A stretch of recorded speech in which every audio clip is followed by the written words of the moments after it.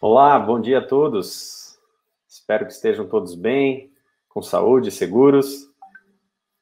É um prazer é, tê-los aqui para a abertura do nosso quarto Darwin Day Unesp, é um evento que celebra aí a vida e a obra do naturalista inglês Charles Darwin. Né? É, esse evento tem sido realizado no nosso instituto uh, e todos os anos, né, no mês de fevereiro ou março, né, Infelizmente, esse ano tivemos a pandemia que nos trouxe aí a necessidade de reagendar é, o evento, mas felizmente a comissão se manteve firme e nós estamos aqui agora para realizar o evento ainda em 2020, né, em plena pandemia. Ficamos muito felizes aí pelos colegas que nos apoiaram ah, para ajudar né, na, na realização desse evento, que trouxeram aí todo o apoio, pessoal da Agência de Divulgação Científica do IB, o Instituto de Biociências, é, os nossos patrocinadores, a Best Writing, a Casa Grande Hamburgueria, Print Express, o Seu Bar e a Thermo Fisher. Né? Uh, estamos aí uh, prontos para iniciar né, a primeira palestra. Eu só gostaria de dizer que esse é o primeiro evento que está sendo transmitido Botucatu, a terra do Saci, para o mundo. Então, quem não conhece Botucatu, venha para Botucatu visitar a nossa, a nossa cidade. É, espero que vocês aproveitem bastante. É, vai ser um evento é, combo, né, com três palestras aí de pesquisadores é, bastante importantes. A professora é, Mariana Neri da Unicamp, o professor Fernando Fernandes da Federal do Rio, do Rio de Janeiro e, e a professora Juliana Viana da PUC do Chile. Então, aproveitem bastante o nosso Darwin Day, façam perguntas, interajam com os colegas, né? Nós temos aí a transmissão via YouTube. Vocês podem colocar as perguntas no chat e que os palestrantes vão responder após a, a palestra. Né? Então, aí pela, pela, pela participação. Espero que vocês aproveitem bastante o evento. Então, eu passo a palavra agora para a Natasha, para que introduza a palestrante Mariana Neri. Bom dia, Natasha. Bom dia, Danilo. Bom dia, gente. É, eu gostaria, então, de apresentar a nossa primeira palestrante, né, que é a doutora Mariana Neri. É, ela é formada em bacharelado e licenciatura pela Universidade Federal de São Carlos. Ela possui mestrado em Biologia Animal pela Universidade Federal do, do Rio de Janeiro e doutorado em Ecologia e Evolução pela Universidade Austral do Chile. Né? Atualmente, ela é professora doutora do Departamento de Genética, Evolução e Bioagentes da Unicamp e trabalha na área de evolução molecular de mamíferos, evolução de famílias gênicas, genômica e genômica comparada. Então, eu vou passar a palavra para a Mariana. Olá, vocês estão me ouvindo?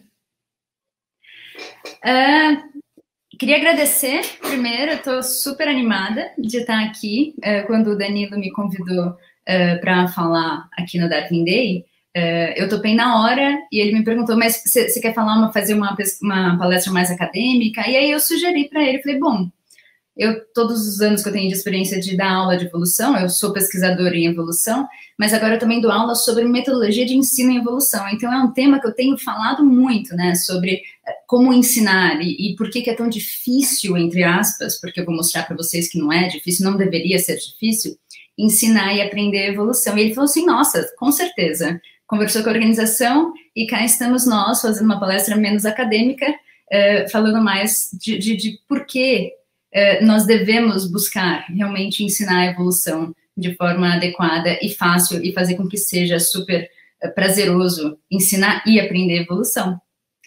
Posso começar? Uh, compartilhando minha tela já? Sim? Por gentileza. Obrigado, Maria. Imagina, obrigada a vocês. Eu queria. Agora, calma aí. Vamos ver se está tudo certo. Vocês veem? Tudo certo? Tudo certo, né? Eu queria já partir, inclusive, uh, dizendo que eu sou pesquisadora de evolução, uh, mas não sou pesquisadora da área de educação. Né? Então, tudo que eu disser aqui é realmente fruto da minha experiência e de estudo uh, nesses anos acumulados aí como professora de evolução. Queria mostrar minha camiseta. Pesquise como uma garota, estou bem vestida de acordo para a ocasião. Antes de começar a falar, eu queria fazer uma pergunta para vocês. Para vocês, vocês que são estudantes uh, ou mesmo professores, uh, já são professores ou que serão professores, uh, eu, queria, eu vou compartilhar aqui um link e gostaria que, se vocês pudessem responder, entrem aí nesse Mentimeter e respondam. A pergunta é: quando você pensa em dar aula de evolução, tenha dado ou não ainda, uh, mesmo que vocês sejam alunos uh, que, que ainda não tiveram a oportunidade de dar aula de evolução, quando você pensa em dar aula de evolução, o que te vem à mente? Vocês conseguem aí ver o link? Já colocaram? Eu vou colocar aqui para ver se já tem pessoas respondendo. Muito bem. Eu vou compartilhar.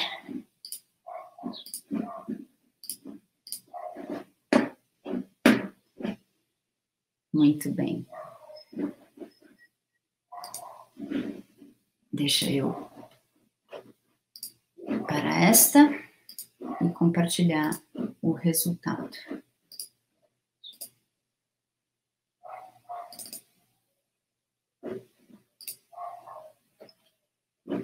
Tá aí o resultado. Vamos lá.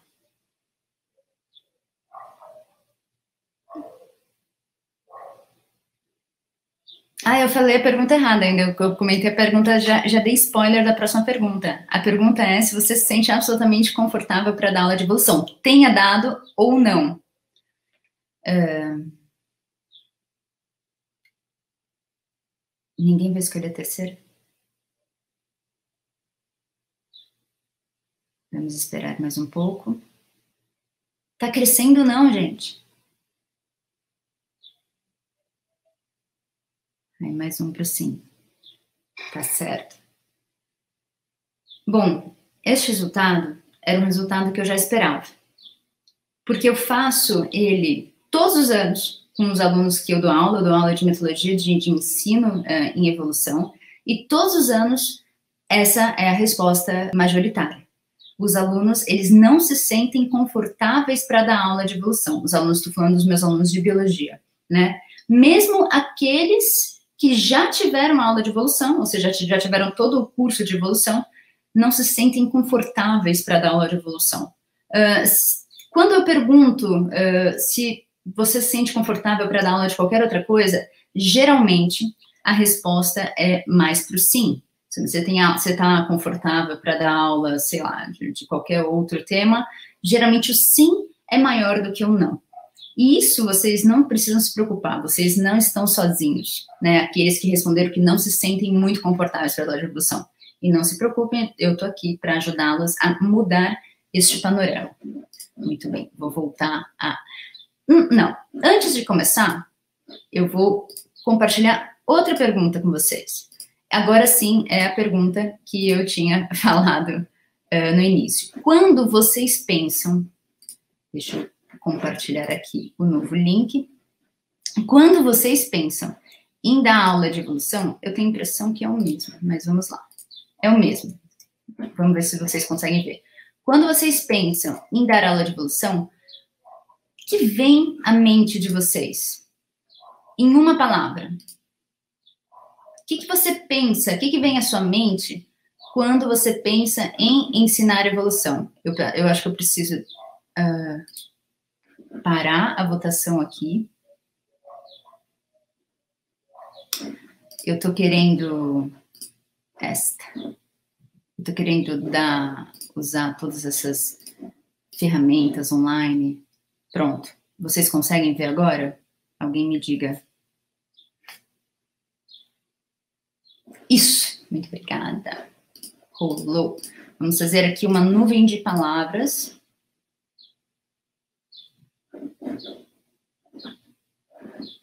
E vou compartilhar para com vocês o que vocês estão respondendo. Só para guiar um pouco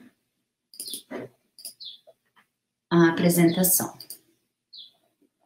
O que, te vem à mente quando você pensa em ensinar evolução?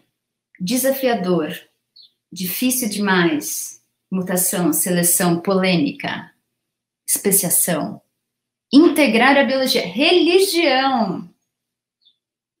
Muito bom. Só? Eu deixei vocês responderem só uma vez, né? Alguém mais? Eu gostei que Darwin. É, é, é, o mesmo link mesmo, Bia. Pode ficar tranquila, porque eu tinha que colocar para apresentação. Empolgação, gostei dessa. Diversidade, muito bom. Verdade. Ok. Selección, tenemos personas de afuera. Transformação, usar evidências, história de vida. Muito bom. E a palavra que mais está aparecendo, não sei se vocês já fizeram um word cloud, uma nuvem de palavras. Eita, a religião está ganhando. A, a, palavra que mais aparece, que mais é, é respondida, ela aparece maior. E por enquanto, as palavras que mais aparecem aí estão sendo religião, desafio, Darwin. Muito bom. Conflito. E é justamente essas, esses são os sentimentos que mais aparecem mesmo quando a gente pensa em dar aula de evolução. Mas não deveria ser assim. O desafio não precisa ser uma coisa ruim, o desafio é uma coisa boa. Eu não vejo desafio como uma palavra uh, negativa aí, tá? Agora, teve pessoas que disseram difícil demais, conflito, e eu vou mostrar para vocês que não precisa haver conflito. Uh, transformação é uma palavra fantástica. Eu adorei quem respondeu sabedoria mas já disseram polêmica, multidisciplinaridade é maravilhoso mesmo. Perfeito, pessoal, ótimo. É, vocês estão de parabéns. Vou parar aqui agora e começar, de fato. Volto para o StreamYard, share screen, um minutinho, que são muitos cliques. Share, Chrome tab. Share áudio, ok. Muito bem. Deixa eu apresentar. Muito bem, vamos lá. Bom, certamente vocês estão uh, familiarizados com esta frase que provavelmente muitos de vocês têm até tatuado, e vocês, acho que todo biólogo deveria tatuar, inclusive, de nada faz sentido senão a luz da evolução, de Dobzhansky. Né? Só que talvez vocês estejam menos familiarizados com mais frase de Dobzhansky que vem no contexto da frase anterior. Porque junto dessa frase vem um complemento que eu acho muito interessante, que é isso. Visto a luz da evolução, vista a luz da evolução, a biologia é talvez a ciência mais satisfatória e intelectualmente inspiradora. Sem essa luz, ela se torna uma imensa pilha de fatos, alguns interessantes e curiosos, mas que não têm significado algum num contexto mais amplo. E isso é muito verdade. Por quê? É, talvez vocês é, conheçam alunos ou amigos que, quando vocês diziam que vocês gostavam de biologia, eles diziam para vocês: Nossa, não, para, que horror, como pode gostar de biologia? Ficar decorando aquele monte de nome. Ou alguns alunos que vocês já deram aula no, no ensino fundamental médio, que acham biologia e ciências um horror, porque tem que decorar todos esses nomes essa, essa ideia de que biologia realmente é decoreba, ela perpassa muitos anos, já vem muitos anos assim, né? E não precisa ser assim. Por quê? Porque eu vou mostrar para vocês que uma abordagem evolutiva, ela pode levar a biologia escolar muito além de um modelo de memorização de nomes, sistemas ou processos. Eu, eu gosto dessa, dessa figurinha que mostra data, ou seja, dados, informação e, e a, a, na verdade, a palavra que estaria ali era sabedoria. Quando você faz o link dos dados, da informação entre eles, é que tudo realmente faz sentido. E a evolução tem esse papel na biologia. Não sei se vocês já tiveram, comentem comigo, tá, pessoal? Vai fazendo comentário e conversando comigo para saber o que vocês acham. Uh, se vocês já tiveram disciplinas na graduação, para aqueles estudantes da graduação de biologia, que tiveram disciplinas sem um contexto evolutivo, por exemplo, botânica num contexto sem ser evolutivo, aquele monte de nome de família sistemática que você não. Eu lembro, lembro de melastomatácea, acho. Eu tô com medo até de falar errado. e é, disciplinas que tiveram, que foram ensinadas, zoologia, por exemplo, num contexto evolutivo, em vez de falar sobre os grupos de forma isolada, sobre os caracteres de forma isolada, tiveram num contexto evolutivo. Uh, Para aqueles que tiveram isso, essa diferença, comenta, por exemplo, uh, na, no, nos comentários que eu gostaria de saber. Faz muito mais sentido. Faz muito mais sentido. Eu digo isso com, com razão, porque eu pergunto sempre para os meus alunos uh, como é, e eles sempre falam a mesma coisa. Quando eles têm aula com um professor que dá, num contexto evolutivo, tudo muda de figura, realmente tudo é muito mais tranquilo de entender e é diferente daquele professor que dá uh, sem um contexto evolutivo, sem colocar uma árvore filogenética na, na, na aula, nenhuma aula, e aí torna-se o quê? Torna-se uma pilha de fatos. E a gente tem que mudar uh, esse panorama, porque realmente faz muito mais sentido. Uh, a evolução, ela é uma teoria super forte, super forte seja, não tem nenhuma teoria concorrente no momento para explicar o surgimento e a manutenção e a mudança da biodiversidade. Os mecanismos e os processos pelos quais o organismo evolui, claro que são ainda objeto de debate, conforme o avanço científico se acumula e permite esses estudos mais aprofundados, né? Mas isso em toda a ciência. Mas esse acúmulo de quase 150 anos de estudos pós-Darwin só adiciona ao esqueleto original, o que reforça a frase de Dobzhansky. Se a gente precisa de uma síntese moderna estendida, como alguns pesquisadores dizem ser necessário, é outra coisa, né? É, basicamente, a gente pegar tudo que existe, fazer uma, uma síntese, né, estendida ou não, desde a síntese moderna, que a gente não existe uma que realmente inclua, por exemplo, a Evodev, ecologia e, outros uh, e outros campos científicos mais dentro do, do corpo teórico da evolução. Mas o fato é que tudo que a gente estuda até hoje só torna a evolução uma teoria mais forte em vez de colocá-la em xeque, certo? Mas sabendo disso, que é uma evolução, que é, que é uma teoria tão forte, como essa teoria, que é tão unificadora e tão suportada, pode enfrentar problemas de aceitação? Porque você não ouve ninguém falando, ah, eu não acredito na teoria da relatividade. Ah, eu não acredito na teoria da gravitação, na teoria atômica. Ah, eu não acredito em movimento retilíneo uniforme. Você não ouve ninguém falando isso. Você não ouve nenhum aluno falando isso. Mas você ouve muito de eu não acredito na teoria da evolução, como se fosse algo para se acreditar ou não. A gente vai mudar isso também. Mas este problema de aceitação, ele é muito mais extenso, né, do que a gente imagina. E não é um problema brasileiro. Nós temos muitos problemas brasileiros já suficientes com o nosso governo e tudo mais, mas este é um problema que a gente compartilha com o resto do mundo, certo?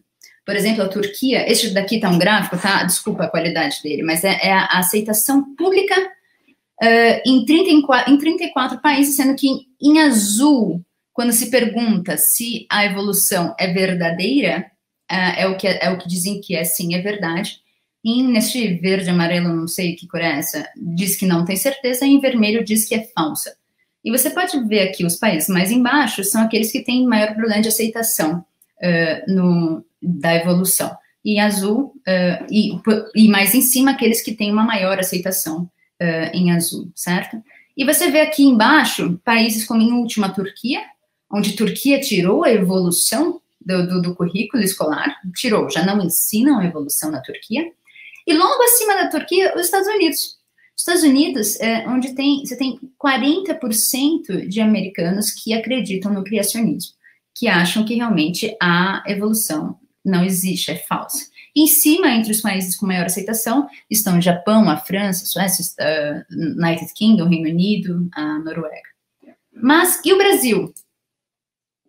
No Brasil, a gente não tem ainda um estudo que mostre uh, como é a aceitação da evolução uh, num contexto de toda a população, tá? Todos os estudos que existem até o momento, e até onde eu sei, adoraria saber se existe algum, não encontrei, uh, mas estou de olho sempre, é, é, mais focado nas escolas, nos alunos e nos professores. Então, a gente consegue ver uh, com, como os alunos, qual é a relação dos alunos, de, geralmente de ensino médio, ensino fundamental e ensino da graduação, com a aceitação da evolução.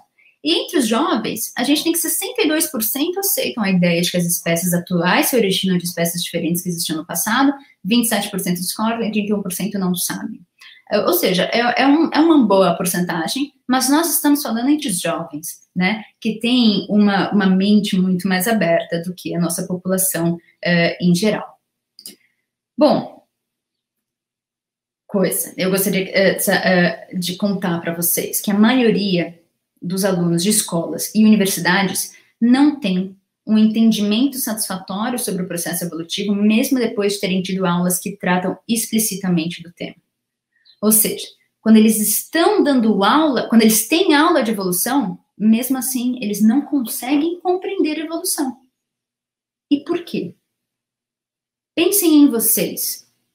Quando eu pergunto para vocês se vocês se sentem confortáveis em dar aula de evolução, e grande parte diz que não se sente confortável de evolução, uh, provavelmente grande, grande parte desta grande parte já teve aula de evolução. Então, se você, aluno da graduação, já teve aula de evolução e já teve toda a evolução que vocês eh, teriam, vão ter na graduação, não que a graduação vai te dar realmente tudo que você precisa. Graduação é só o início, você vai estudar para o resto da vida. Você tem deveria estar apto para dar aula de evolução, e a maioria não está. Eu dou aula de metodologia de ensino em evolução, basicamente é tipo como dar aula de evolução, para alunos da biologia lá da Unicamp que estão no segundo ano. E no primeiro ano, eles têm toda a evolução do currículo de biologia da Unicamp. Ou seja, primeiro semestre, os alunos da Unicamp têm evolução.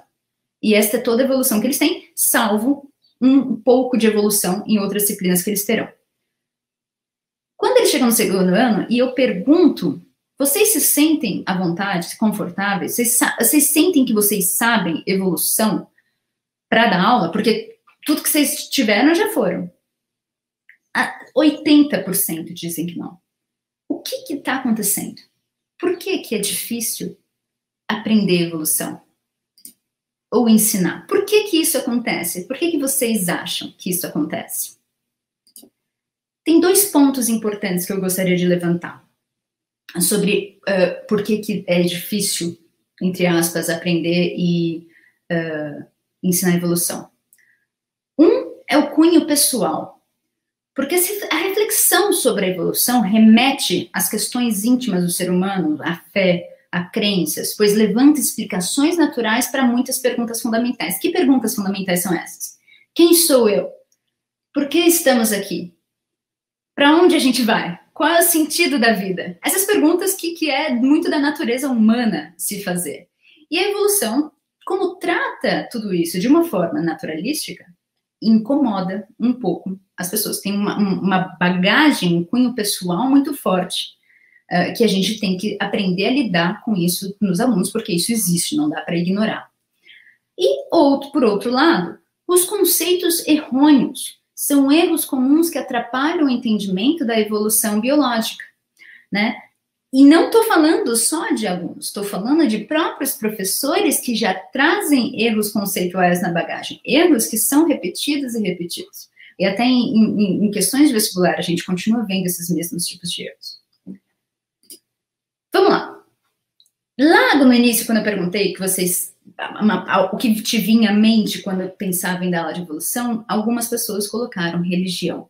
Realmente não tem como uh, falar de ensinar evolução sem mencionar a religião.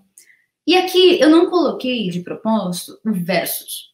Não coloquei evolução versus religião, tá? É, porque, como eu vou falar para vocês, não é uma questão de um contra o outro. A gente tem que saber lidar com os alunos e com a religiosidade dos alunos na hora de ensinar a evolução. mostrando que as duas coisas fazem parte de mundos distintos. E eles tratam de coisas distintas, certo? Só o pessoal da organização me avisa uh, mais ou menos o tempo, tá? Quando eu tiver uns 10 minutos faltando para eu acabar, para eu já pra ter ideia, tá bom? Obrigada. Não dá para não falar de religião quando a gente fala sobre a dificuldade de ensinar a evolução, justamente por isso. Porque muitas críticas à evolução, elas estão associadas a grupos religiosos. Só que não dá também para a gente falar da, da, religião de uma forma geral, porque existem distintos grupos que diferem em relação ao grau de aceitação da teoria evolutiva, que vai desde aqueles que são literalistas bíblicos, né, que a Terra tem 10 mil anos, etc., até o movimento neocriacionista do design inteligente. Mas a gente vê aqui nesse gráficozinho do lado, mostrando que, por exemplo, é, lá nos Estados Unidos, a aceitação da evolução é muito maior, é 87% entre os ateístas, aí tem os budistas, 81%, os hindus, tá? até chegar na testemunha de Jeová, que aí a aceitação é muito menor, porque eles têm uma interpretação muito mais literal da Bíblia, tá?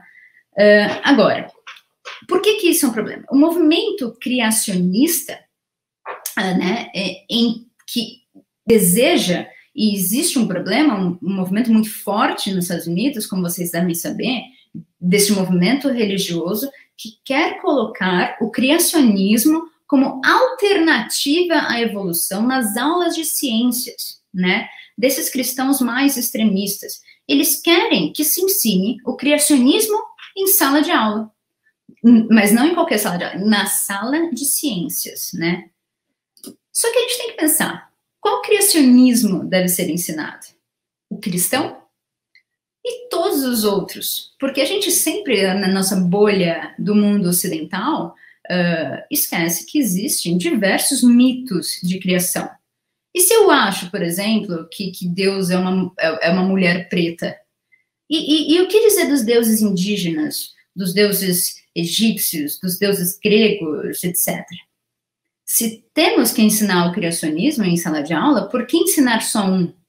Não estaria certo porque existem muitos mitos de criação. E é absurdo pensar em ensinar sobre mitos de criação dentro de sala de aula, na aula de ciências. Isso deveria estar na aula de religião, se, se houver aula de religião. E de todas as religiões, não só de uma religião. Agora, Mariana, você falou dos Estados Unidos, realmente a gente sabe que isso é um problema grande. No Brasil, a gente tem que se preocupar, no Brasil, que, que vocês acham? Enquanto eu bebo água, respondo. Vocês acham que a gente deve se preocupar que esse é um problema? Ou não? Não consigo. Responde, gente, para eu saber que eu não estou sozinha. Estou olhando aqui o chat. Estou sozinha, então. Bom,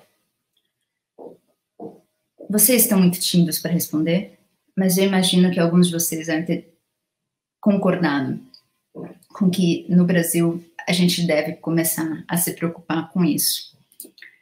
Por quê? É um problema crescente, realmente, Beatriz. Tá, aí o pessoal começou a responder, eu também acho. Vamos pegar notícias mais recentes, tá?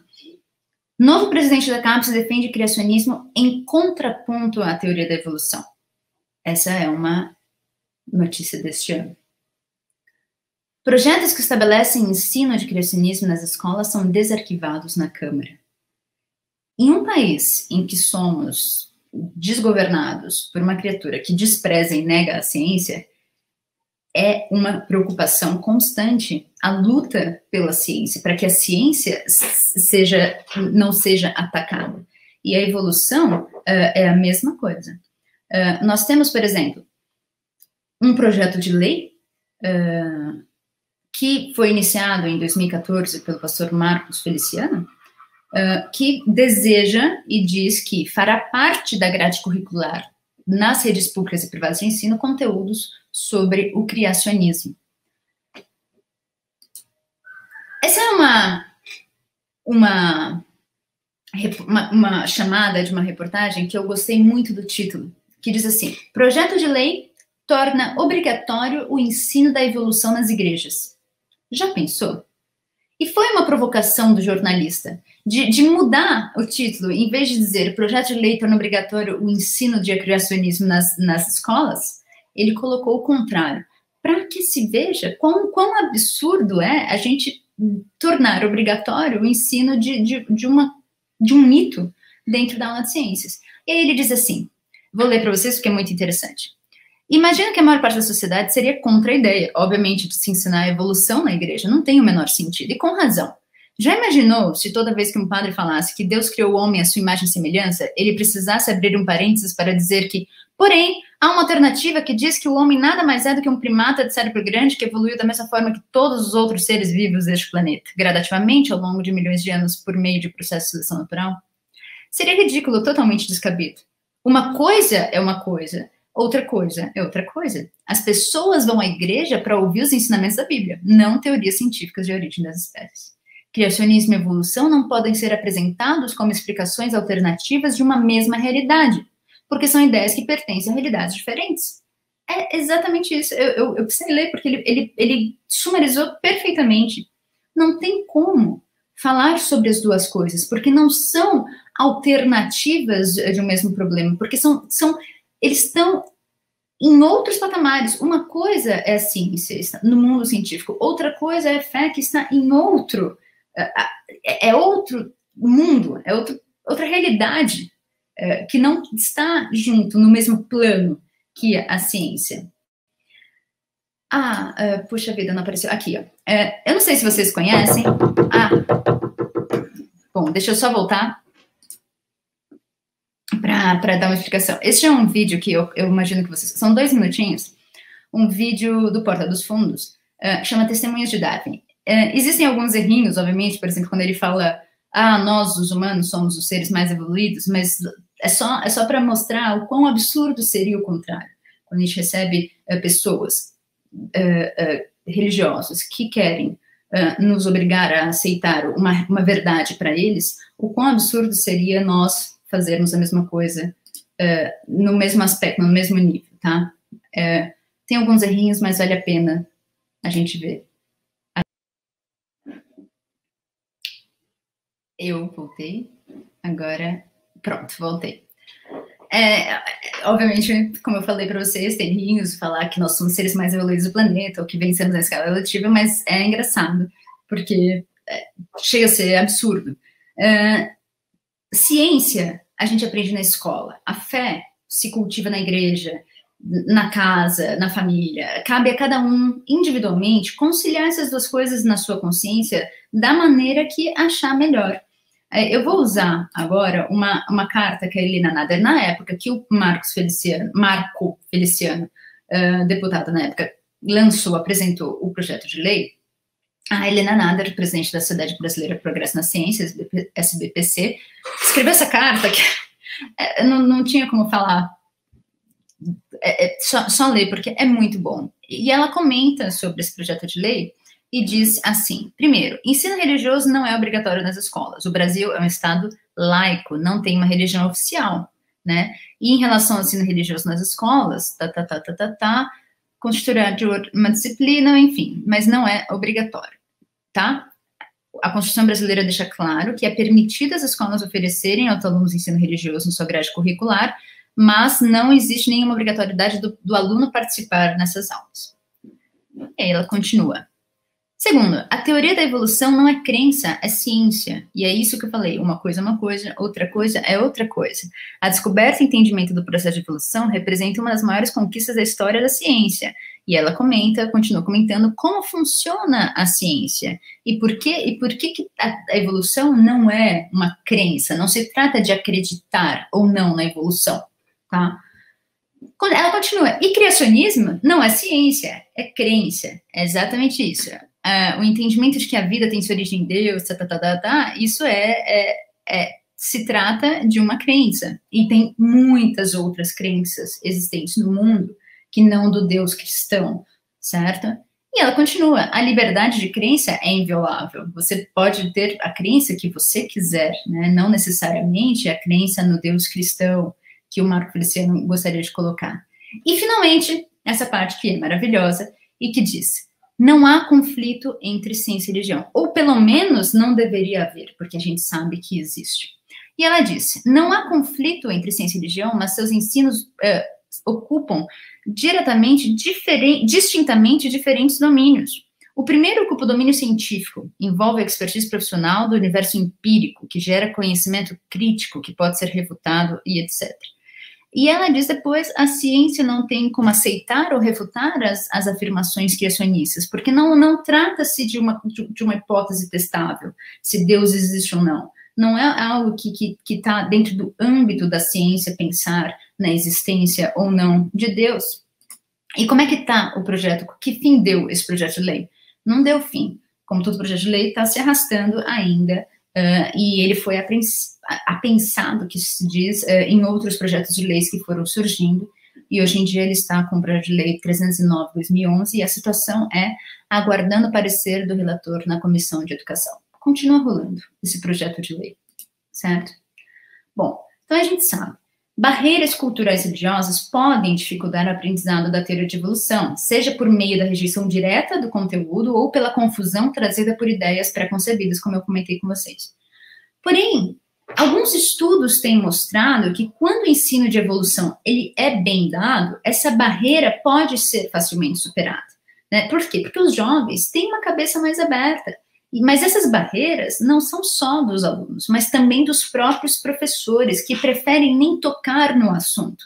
Por isso, antes de você dar aula de evolução, você, estudante de biologia, que é o que vai ser professor em algum momento, e tiver que se deparar com dar aula de evolução, você deve ter isso muito bem trabalhado dentro de você. Né? Não estou dizendo para você não acreditar em nada ou não ter uma religião. Não tem problema ter uma religião. O lance é, vamos falar de ciência em sala de aula. E quando você quebra essa barreira, tudo fica mais fácil. Digo por experiência própria. Eu dou aula de evolução uh, para mais de 100 alunos todos os anos. Na minha segunda aula, quando na primeira aula eu vou falar sobre a origem do pensamento evolutivo. Na segunda aula eu começo falando, eu passo duas horas falando sobre o método científico, ou seja, como funciona a ciência, para finalmente do meio para o final falar que eu não estou ali para uh, uh, romper com a fé de ninguém. Ali a gente vai falar de ciência. Ali a gente vai falar de, de dados, de métodos, de, de evidência científica. E que não estou interessada em dizer se Deus existe ou não. Se a religião faz parte de outro domínio. O que, que acontece? Quando eu faço isso, os alunos que cruzavam os braços e, e, e, faziam assim com a cabeça quando eu dizia que nós somos tão evoluídos quanto uma samambaia e uma barata, eles se desarmam. E no feedback que eu tenho de, de todos os semestres, muitos sempre dizem isso. Alguns são muito religiosos. E eles vêm e dizem que uh, quando eu disse que eu não iria falar de religião ali, ou não iria atacar a religião deles, isso para eles mudou tudo. Mudou todo o, a, a, disposição deles de ouvir o que eu estava falando, porque ali eu ia falar de ciência. Percebe o quanto é, é, é simples, é, um, é, uma coisa simples. Se você fala sobre o método científico e diz, não, não se preocupe, você, a sua fé e como você vai lidar com a sua fé e com os dados que eu estou dando para você aqui, isso é coisa sua. Existem muitos cientistas que são religiosos, inclusive e, e, que trabalham com evolução, eu conheço e que são religiosas, não, não e, e para eles tratam de coisas totalmente distintas e eles não precisam mesclar as coisas, tá? Uh, quando você faz isso, os alunos se desarmam e começam a escutar muito mais o que você veio para dizer. E assim, todos os anos eu faço a mesma coisa e todos os anos é a mesma reação de desar, desarmamento. Não, agora eu não estou com medo de ouvir o que ela veio falar.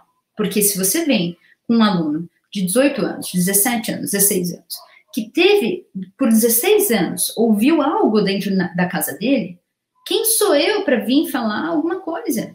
Eu não vim ali, é, quando eu falo não vim aqui destruir a família, eles ficam muito mais tranquilos. As diretrizes curriculares para o ensino médio uh, é, é, linda de se ler.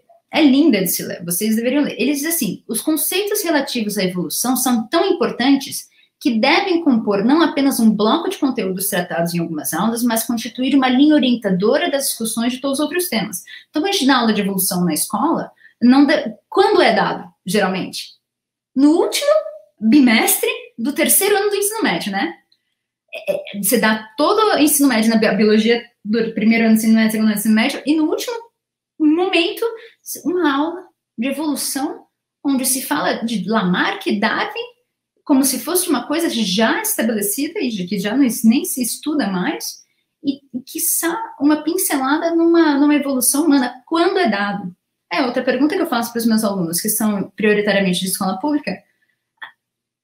80% nunca tiveram aula de evolução. Por quê? Porque os professores não deu tempo, porque é, uma, é o último conteúdo do último semestre do último ano do ensino médio, ou porque os professores simplesmente escolheram não dar essa aula, porque não foi, como diz o currículo, a diretriz curricular do ensino médio, este, esta linha que, orientadora de todos os temas. A evolução, se é dada no início como essa linha perpassando todos a zoologia, a botânica, a genética, enfim, a fisiologia, é, é outra coisa, tá? Mas, a despeito dessa centralidade, o assunto ainda é mal aprendido e mal compreendido por parcelas significativas dos alunos e mesmo por parte dos professores brasileiros. E agora eu vou falar algumas das dificuldades principais na aprendizagem.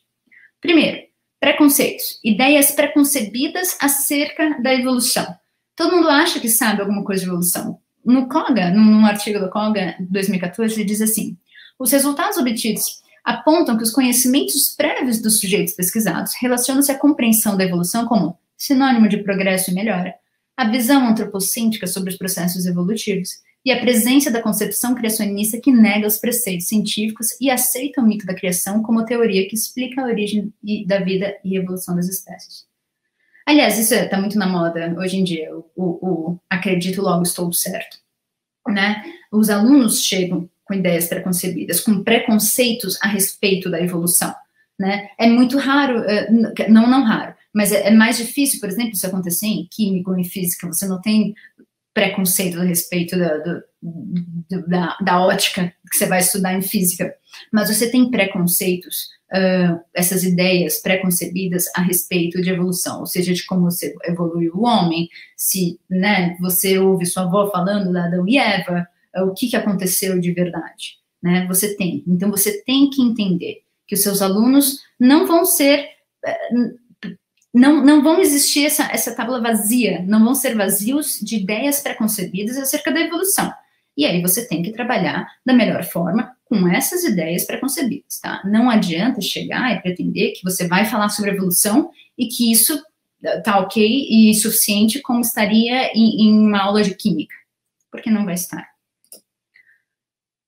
O papel da aleatoriedade na evolução. É muito comum confundir seleção natural com um processo aleatório Inclusive, ele é um dos pontos em que aqueles detratores da evolução pegam muito. Como surge um olho tão complexo como o do humano de, de processos aleatórios? Só que a aleatoriedade é no surgimento das variações. A seleção natural é tudo menos aleatória. Isso é algo que, é, que precisa estar muito claro para os alunos. O papel da aleatoriedade na evolução. Tá? Seleção natural não é nada aleatório. Existem processos aleatórios, mas não, não é tudo aleatoriedade, porque muitas, muitas das pessoas que atacam a evolução dizem isso. Como surge a complexidade de um, de um processo aleatório? Mas não é, a evolução não é aleatória. O papel do ambiente. Geralmente pensam que o ambiente é a causa e variação, é, que, é que causa a variação e a mudança, que os caracteres adquiridos podem ser herdados, que Lamarck falou, e que, portanto, a variabilidade não é importante.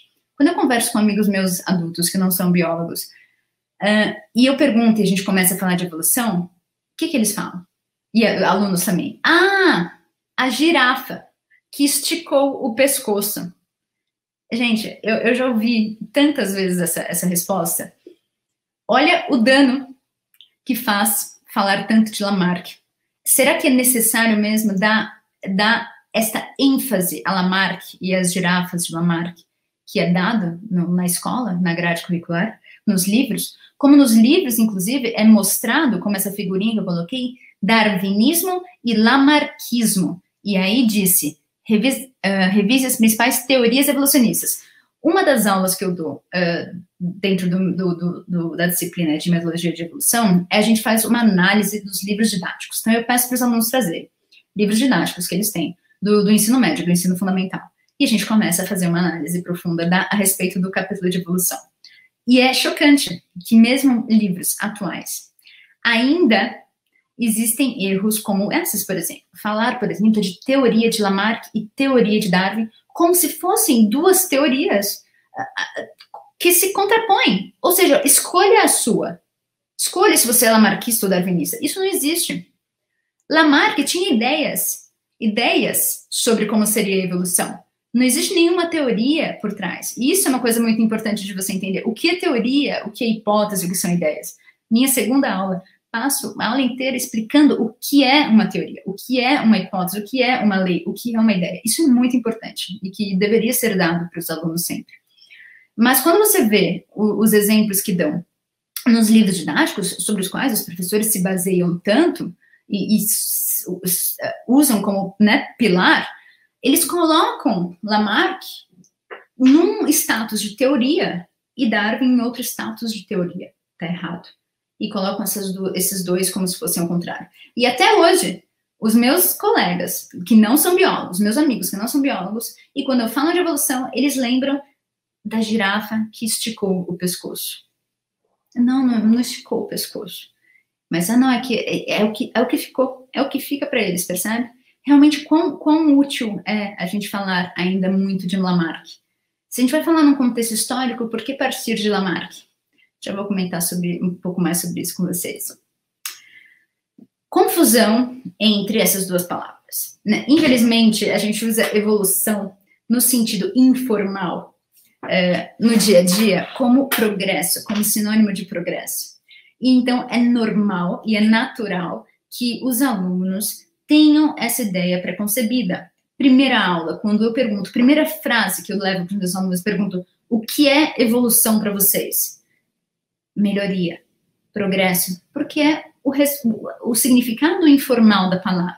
Então, a gente tem que dissociar isso. Evolução não é progresso, evolução não tem finalidade, evolução não tem objetivo, evolução não tem uma direção. Evolução é mudança, ponto. É diferente da evolução que a gente usa no dia a dia. No dia, a dia.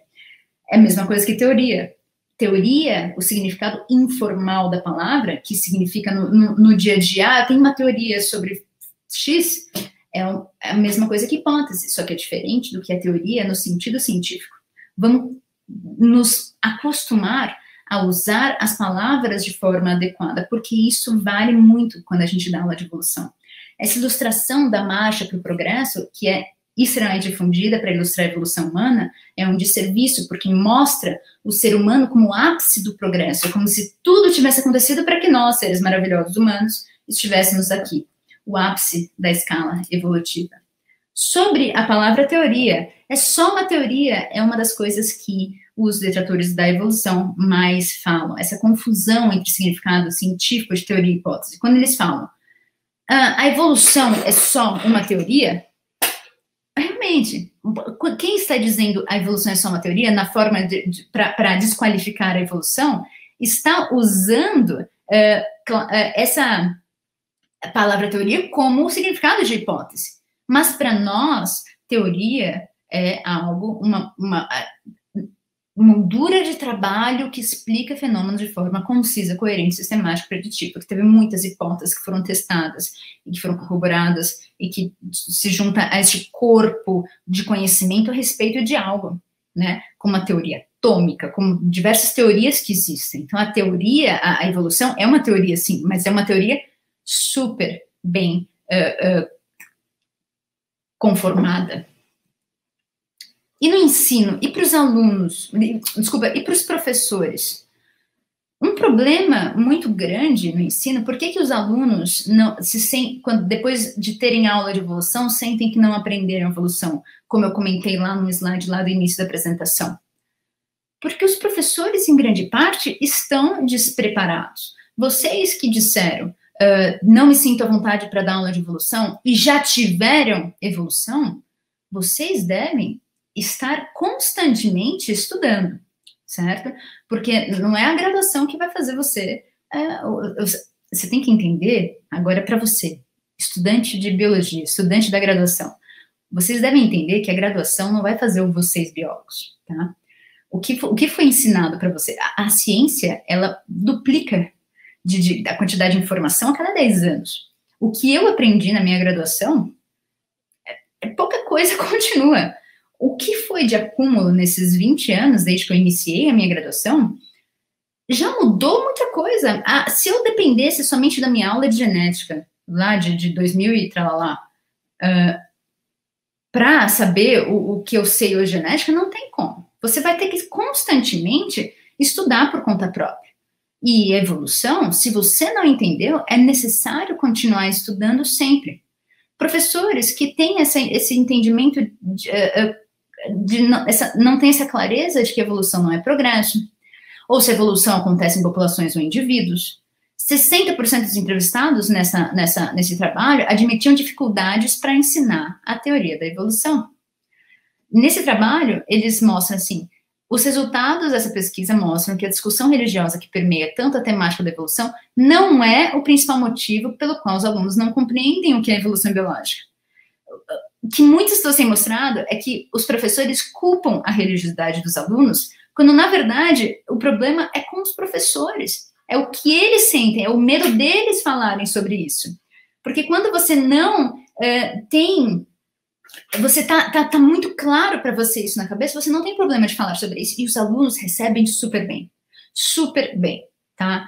Acreditamos que a não compreensão do processo evolutivo se deve mais à divergência de conceitos e informações, e estes acabam se tornando obstáculos de aprendizagem. A quantidade expressiva de estudantes que adotam visão, visões teleológicas nos mostra que erros conceituais estão sendo cada vez mais reforçados pelos docentes. Então, esse é o problema. Bagagem cultural e religiosa é, é, é, um, é, um, é uma barreira? É uma barreira. Mas essa é uma barreira super transponível. Se o professor tem clareza sobre tudo o que ele vai falar.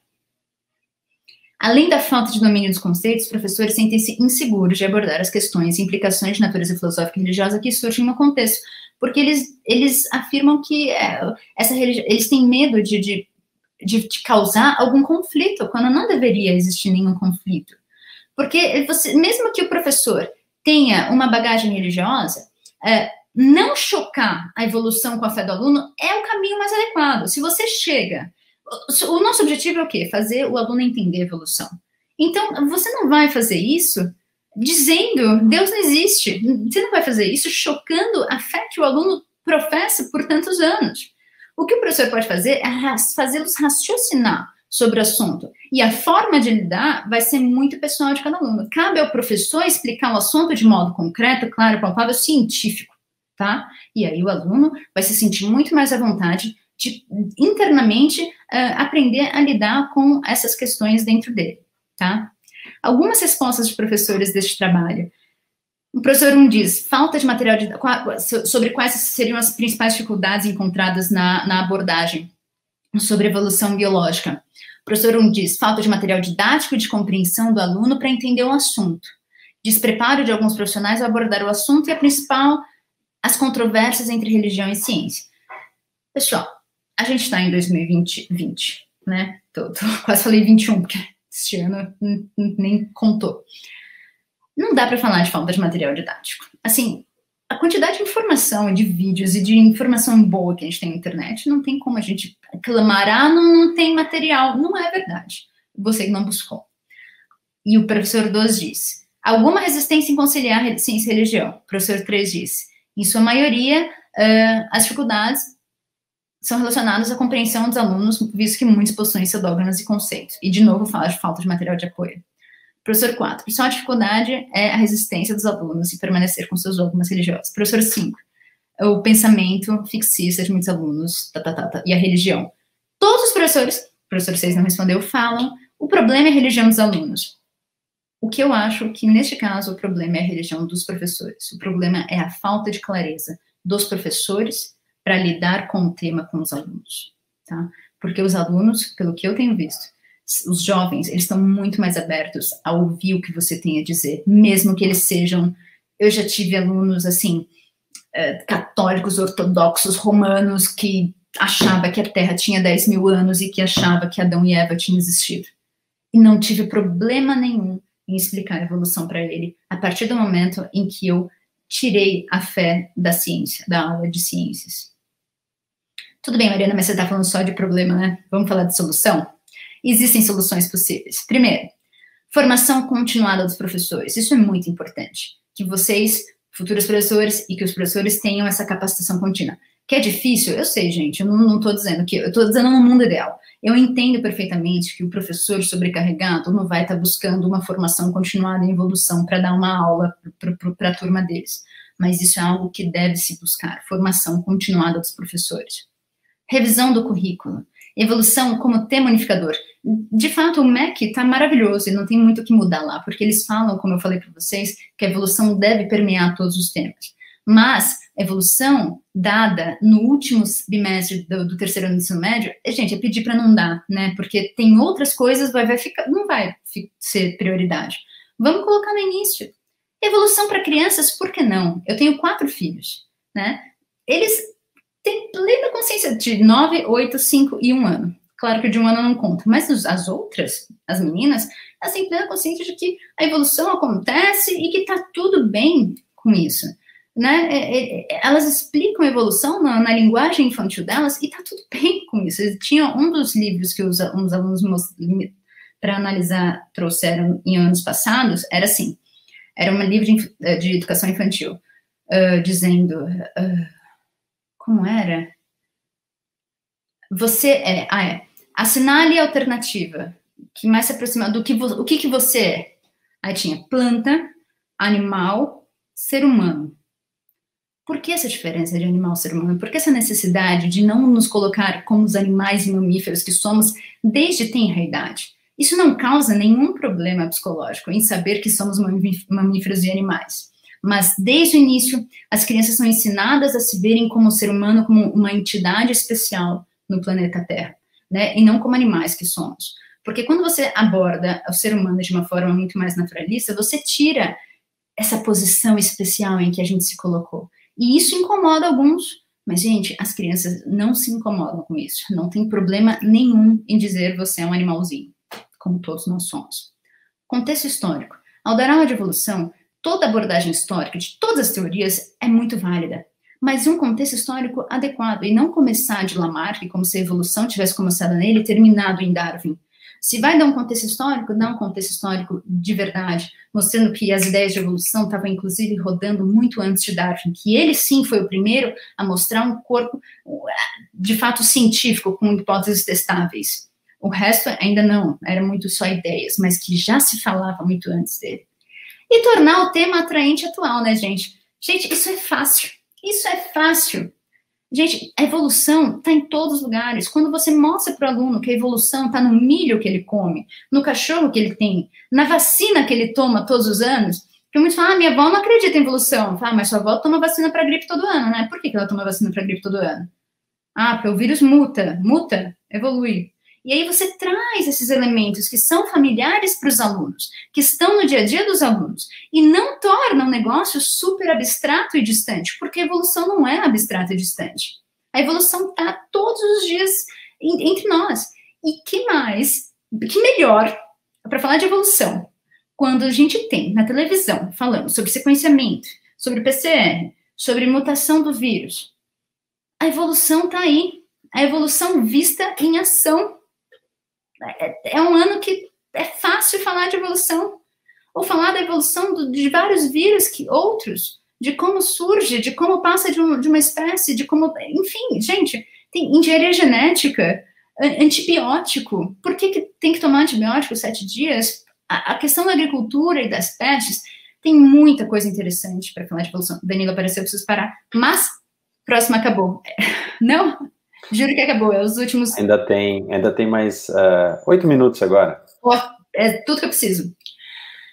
Algumas dicas para futuros, para futuros professores. Primeiro, use uma terminologia adequada. Você tem que tomar, na aula de evolução, mais cuidado do que nunca, né? Para falar de finalidade e função, teoria e hipótese, evidência e prova, acreditar ou aceitar. A gente não acredita ou não em evolução. Em primitivo e evoluído, não existem espécies primitivas, não tem espécies mais evoluídas. Algumas espécies retêm características ancestrais, mas elas estão super perfeitamente adaptadas ao meio e hábitos atuais e são tão evoluídas quanto outras espécies. Você tem que tomar muito cuidado ao falar desse tipo de coisa, porque na evolução é muito complicado. você usar o, termo errado pode acabar com, com todo um trabalho de muitos meses. Agora, vamos falar, uh, vou mostrar um pouco de realidade. Tudo bem, Mariana? Então quer dizer que se eu der aula de evolução bem, assim, perfeita, tomar cuidado com toda a terminologia, falar só sobre ciência, tornar o tema atrativo, dar uma abordagem histórica, falar de método científico lá no início da aula e, e, e abordar essa questão da religião, quer dizer que os alunos vão realmente entender a evolução e vão abandonar suas crenças criacionistas? Eu não disse isso. E aqui um pouco de realidade para vocês. O que eu e, e um outro pesquisador fazemos é usar os alunos que eu dou aula, eu dou aula de evolução uh, para um programa de formação interdisciplinar superior aqui na Unicamp, que é, são 120 alunos, oriundos de escola pública, acabaram de sair do terceiro ano do ensino médio, e esses 120 alunos não necessariamente vão fazer biologia na graduação. Eles podem ir para vários cursos, então alguns serão biólogos, alguns não. O que eu faço? Eu aplico um questionário no primeiro dia de aula, tá? Uh, com algumas perguntas que eu vou mostrar para vocês aí. Antes de falar sobre evolução, eu aplico esse questionário, eles respondem, anônimos. No último dia de aula, depois que eu acabei, eu dou o mesmo questionário para eles responderem, inclusive grampeado com as respostas que eles deram, então eles conseguem ver as respostas. Era anônimo, é anônimo, mas é através de um número, não sei quem respondeu ou não. E aqui eu queria mostrar alguns resultados para vocês. Aqui mostra dos anos de 2015, 2017, 2018, 2019, a primeira e a segunda aplicação. Ou seja, a primeira aplicação é antes de dar o curso e a segunda aplicação é depois de dar o curso, tá? Em vários anos. Não tem 2016 porque teve greve, a gente não conseguiu dar o curso inteiro. E 2020, vocês sabem o que aconteceu, também não rolou. O que acontece? Olha aqui. Quando eu pergunto para eles com qual ideias das ideias abaixo você mais se identifica, e aí embaixo tem a ideia criacionista, evolutiva, design inteligente, não tem opinião, outro não respondeu. Em preto criacionista, perceba todos os anos, entre a primeira e a segunda aplicação, o que acontece. Eu não tenho apontador, né? Eu não consigo usar. Deixa eu ver aqui. Deixa eu testar. Vocês veem? Vem, né? Ótimo. Então, opa, mas aí diminui o que vocês estão vendo. Melhorou? Ok. Uh, temos aqui a primeira aplicação e a segunda. Observe que todos os anos, aqueles que se identificavam com a ideia criacionista, e aqui é, mais, é 20%, olha aqui a porcentagem, mais de 10%, mais de 10%, quase 20%. Tá vendo? Nas primeiras aplicações. O que acontece? Todos os anos depois do curso de evolução, diminui, diminui, diminui, diminui. Mas acaba? Não. Não acaba. Eu tenho absoluta certeza que eu dei o curso muito bem. Não, não é, é não é não, não me acho. É que eu sei que eu dou aula de evolução bem. Eu sei, no sentido de que eu sei que todas as informações que eu dou são extremamente corretas. Eu me sinto muito segura em dar aula de evolução. Então, não, vamos tirar o papel do professor daí, do, de um professor que não não está sentindo muito bem. Mas não importa o quanto eu dê. Alguns alunos, ainda assim, preferem se manter com suas crenças criacionistas a respeito da evolução. E olha o que acontece com a, a, a ideia evolutiva aqui temos um pouco mais de 15%, aumentou, aumentou muito, aumentou, aumentou. Ou seja, existe um aumento daqueles que se identificam com uma ideia mais evolucionista depois do curso de evolução. Agora, olhem o que acontece com o design inteligente. Aqui, design inteligente, mais de 40%, diminuiu muito pouco, diminuiu muito pouco, diminuiu muito pouco, diminuiu muito pouco. O que, que isso significa? Vocês têm ideia de como, de como interpretar isso? Isso pode ser interpretado como o fato de que realmente alguns criacionistas partem para o design inteligente na segunda aplicação. Alguns partem do criacionismo para a ideia de evolução. Alguns partem da ideia de evolução para o design inteligente. Mas a maioria do design inteligente se mantém no design inteligente ou vai para a evolução. Isso isso significa que, embora eu dê todas as informações a respeito da evolução, de como é, é como a evolução acontece cientificamente falando, os alunos ainda assim não querem abandonar a ideia de um ser supremo que está orquestrando essa evolução, tá? E sobre isso eu não posso fazer absolutamente nada e nem é o meu objetivo, tá? Não é o meu objetivo acabar com os criacionistas e todos, não é. Meu objetivo ali é que eles entendam a evolução, só isso. Mas só para vocês verem e não se tirem, não se sentirem uh, uh, frustrados caso isso aconteça. Porque, poxa, Marina, dei aula de evolução direitinho e o cara continua criacionista. Não tem problema. Isso vai acontecer, tá? Uh, temos que lidar com isso. Agora só, olha só, a questão 3. Existe uma espécie mais evoluída? Se sim, qual? Na primeira, opa, na primeira aplicação, o verde não, né? Então, da primeira para a segunda, aumenta muito sobre não tem uma espécie evoluída, tá? Eles entendem que não existe uma espécie mais evoluída. Em vermelho, diz que sim, diminui. Aqui não é ninguém. Em 2017, ninguém mais falou sobre uma espécie evoluída. Em 2018 também não, em 2019 muito pouco. Mas aqui em 2015, ainda existiu quase 20% dizendo que sim, existe uma espécie mais evoluída. Embora eu tenha passado o semestre inteiro dizendo não, não existe uma espécie evoluída. Percebem? Uma pergunta sobre o ser humano se originou da mesma forma que outras espécies. Na primeira aplicação, ou. Opa! Desculpa. Na primeira aplicação, ou uh, eles concordavam e aumentou, né? Que o ser humano uh, surgiu da mesma maneira Hum, o discordar da primeira para a segunda diminuiu pouco, ou seja, eles continuavam aqueles achando, mesmo depois de saberem que o ser humano se originava da mesma maneira, uh, eles continuavam com a mesma ideia, uh, e os que não têm opinião formada continuaram sem opinião, muitos continuaram sem opinião formada mesmo depois do curso inteiro de evolução. E por último, eu perguntei se a evolução não é ciência porque não pode ser observada ou testada, e a grande maioria discordava, ou seja, a evolução é ciência, pode ser observada e pode ser testada. Mas mesmo assim, por mais que eles saibam que eu estou falando de ciência ali, eles não abandonaram por completo alguns a sua própria crença. Como take home message, o que, que eu quero? A mensagem final dessa, dessa, dessa palestra. Primeiro, eu quero que vocês tenham em mente que ensinar evolução não precisa ser difícil. E que aprender evolução pode ser extremamente gratificante.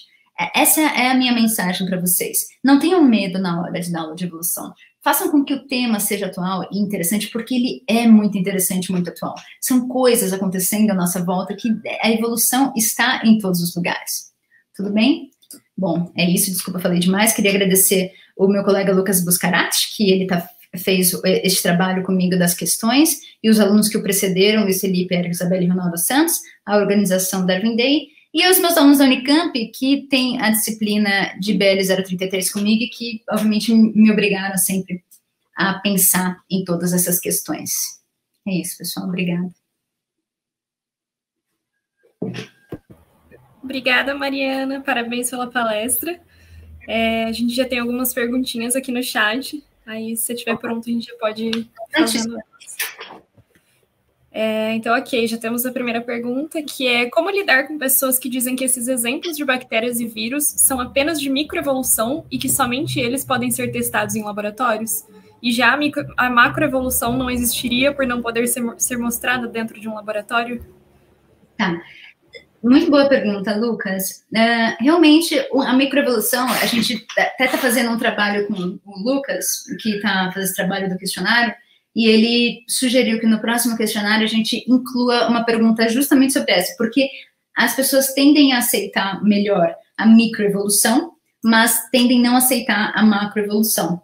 Uh, eu sempre digo para os alunos que o trabalho de, de, de a maior parte do trabalho do biólogo evolutivo é como um detetive que chega na cena do crime e tem que identificar como foi todo aquele crime com as pistas que foram deixadas para trás.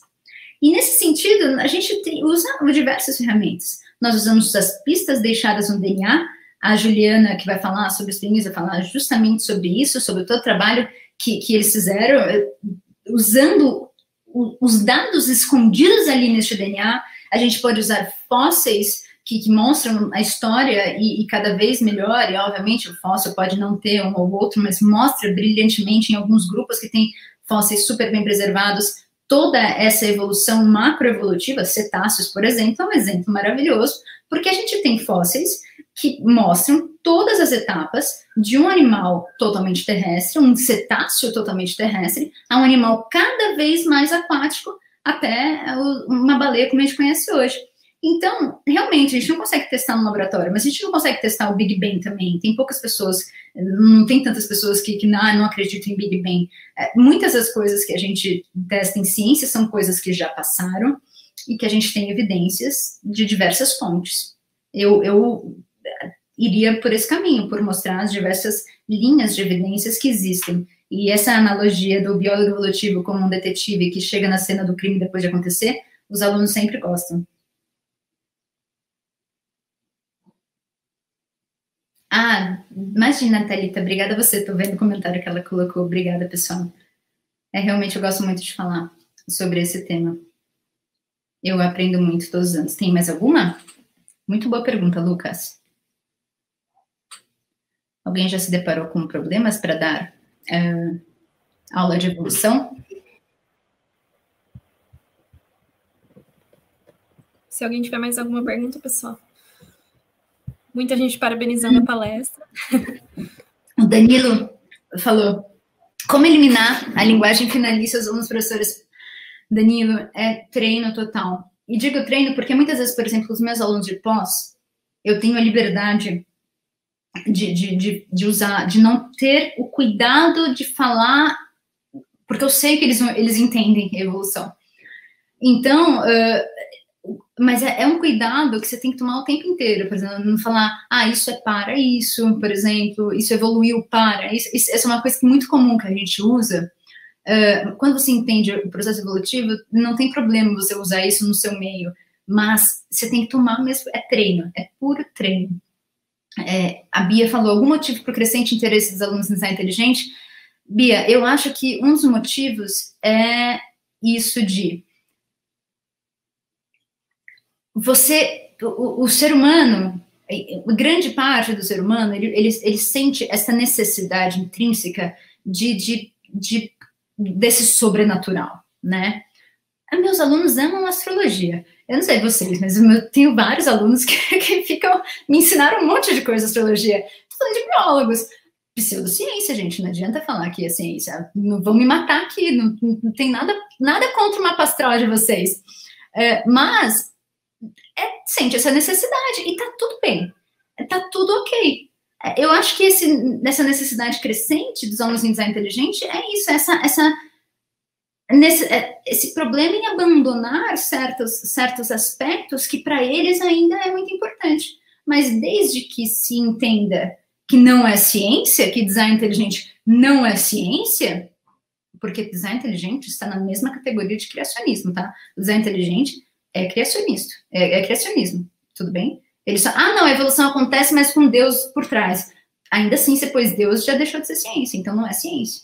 Então, é, é exatamente pelo mesmo motivo dos alunos não abandonarem ainda as crenças criacionistas. A Letícia pergunta: como lidar com as dificuldades dos professores no ensino de evolução enquanto estagiária? A Letícia, que pergunta difícil, porque não dá para interferir, tem que tomar cuidado para não desrespeitar. Exatamente. Uh, ótima pergunta. Você, eu te conheço, você é pessoa, uma das pessoas mais educadas que eu conheço. Eu tenho certeza que se você não consegue, ninguém mais consegue. Não, mentira. Eu acho que é com toda a educação que, que se deve a um orientador, a um professor, uh, em perguntar. Você pode perguntar, não tem, tem, pode ser que alguns não recebam bem, mas eu acho que a maioria receberia muito bem. Né, de, de uh, tem o, ah, tá, não, não é pergunta, tá? É que eu tô aqui no meu celular vendo os, os comentários do, do YouTube. Uh, mas é isso, Letícia, eu acho que com muita educação com dados, e pergunta, eu acho que uma estratégia muito boa é perguntar. Professor, o que, que você acha disso? O que, que você acha daquilo? E de repente, na própria conversa, é porque eu tive uma aula, eu tive uma palestra em que dizia que não pode falar uh, espécies mais primitivas ou espécies mais evoluídas. O que, que você acha disso? E tenho certeza que o professor vai, pelo menos, parar para pensar a respeito. Um, já me deparei com pós-graduandos da área genética que não acreditam em evolução. Acho que isso está ligado à cultura dogmática do nosso país, porque teoricamente as pessoas tiveram formação. Pois é, e não é só do nosso país, né? Fora é, é, muito forte também, muito forte nos Estados Unidos, muito forte na Europa. Agora, dentro da área de genética, eu conheço um professor que é criacionista. Não vou falar nomes, óbvio, mas ele é super, super um pesquisador maravilhoso de genética, epigenética, de genética assim, genética, não é, nem, é genética pura. E ele é mega criacionista. Uh, ele não fala disso abertamente, ele não uh, passa isso nos trabalhos, ele não passa isso na sala de aula. Então, como ele lida com o criacionismo e a ciência dele é totalmente com ele, percebe? Não existe problema, pessoal. O que a gente tem que entender é que não tem problema nenhum que a pessoa seja criacionista e trabalhe com evolução. Não, não sei se eu conheço algo, mas não teria problema. No sentido de que são duas coisas distintas. Como ele lida, como, como os pós-graduandos de genética criacionistas lidam com isso dentro deles, eu não sei. Mas, se não interfere na ciência, se não interfere na, na aula, aí é coisa de cada um, entende? Não, não deve ser. A gente não precisa sair como o vídeo que eu mostrei, o vídeo do Porta dos Fundos, é, ele é é isso, né? Assim como a gente não gosta quando os evangelizadores vêm enfiar as verdades deles na gente, nós também não devemos desejar fazer isso com, com os outros. É isso. Parei de falar, parei de falar, Danilo. Danilo travou? Aí. Maria, Mariana, travou? Voltou? Voltou. Você está congelado para mim, mas eu te ouço. Voltou, dá para ouvir. Bom. Voltou, voltou. Eu queria agradecer, então, a Mariana, infelizmente, pelo tempo, né, Natasha? Nós não temos mais tempo para outras perguntas, mas todos sabem onde a Mariana está, tem o e-mail da Mariana, é só procurar no Google, a Mariana é super famosa e vocês vão achar facilmente aí vários links para poder aí bater um papo com ela, trocar uma ideia, fazer um estágio, né, Mariana? Pegar uhum. mais informações. Pode Acho vir. que esse é o nosso papel, né? Sempre estamos abertos, ou quem quiser procurar também uh, o nosso staff aí do Darwin Day, nós podemos fazer essa ponte com a Mariana também. Tá, Joia? Agradeço. Então, Mariana, muito obrigado, viu, pela disposição e pela excelente palestra, viu? Tchau, estou aí agora assistindo as outras, do Isso. da querida Juliana, minha amigona. Fique com a gente, obrigado. Viu? Bom, eu vou, queria só rapidamente comentar, né, que essa data de hoje, ela não foi também escolhida ao acaso, né, essa data para a realização do Darwin Day, é porque hoje nós comemoramos aí uh, ah, 161 anos de publicação do Origem das Espécies aqui, né? Essa é uma das edições Darwin, né? O livro que deu origem a tudo aí, né? Darwin demorou muitos anos para escrevê-lo, né? Uh, foram mais de 20 anos aí juntando evidências e depois ele passou aí muitos meses escrevendo aí, cerca de 13, 14 meses escrevendo. Essa é uma edição bem bacana também, que tem prefácio do professor Nélio Biso, né? Vou fazer uma propaganda aqui, professor Nélio, que é um livro muito bom mesmo, é, com vários comentários, né, é da, é da Edipro, então recomendo a todos esse livro. Também é, gostaria de recomendar um podcast muito interessante que foi lançado esse ano, que é o, o 20 mil léguas uh, submarinas, 20 mil léguas, 20 mil léguas, não tem submarinas não, 20 mil léguas, que ele é um podcast da revista 451, né, e ele justamente fala, é, na, na primeira edição, né, eles buscam é, unificar a literatura, filosofia e ciência. E o primeiro, o primeiro cientista aí abordado foi o Darwin, né? Então são, se não me engano, agora são 12 ou 13 capítulos a, a teoria evolutiva e sobre a origem das espécies. Né? Então, é aí uma dica para vocês, vale muito a pena esse podcast, bastante interessante, comenta muito a teoria evolutiva. Então, recomendo a todos aí esse, esse podcast, né? Bom, então agora eu, eu peço aí a presença da Érica para que introduza o nosso pró próximo palestrante, o professor Fernando. Então, Érica, onde está você? Estou aqui. É, bom, bom, então, bom dia. Bom dia a todos. Então, seguindo a nossa programação, o próximo palestrante é o professor Dr. Fernando Antônio dos Santos Fernandes. É, o professor possui graduação em Ciências Biológicas, modalidade Ecologia, pela Universidade Federal do Rio de Janeiro, mestrado em Ecologia pela Universidade Estadual de Campinas e PhD pela Durham University, na Inglaterra.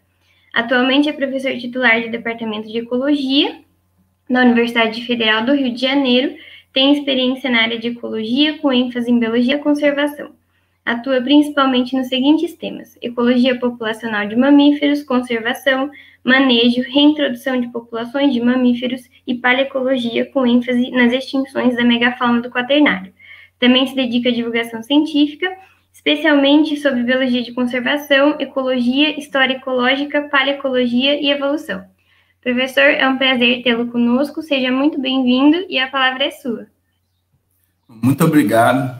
Antes de mais nada, queria agradecer a vocês pelo convite, ao Danilo, lá no início, pelo convite, depois a Natasha. E é um prazer participar do Darwin Day sempre. Queria agradecer também a Mariana pela excelente palestra e, assim, essa não era a ideia, mas a, palestra da Mariana acabou que a minha palestra vai ser bastante complementar dela.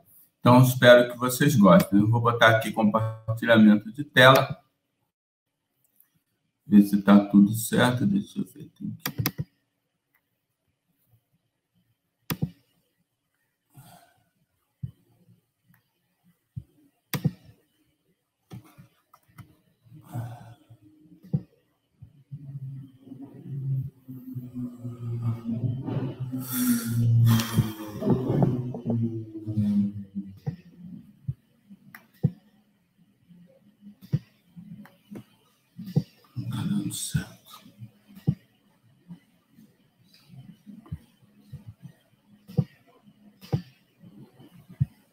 Tá, tá, a tela está compartilhada aí para vocês? Tá a tela compartilhada aí para vocês? Professor, não está compartilhado, não. É, tá. Clica ali no botão Share Screen. Uhum. Embaixo. Daí é só escolher onde está a tua apresentação.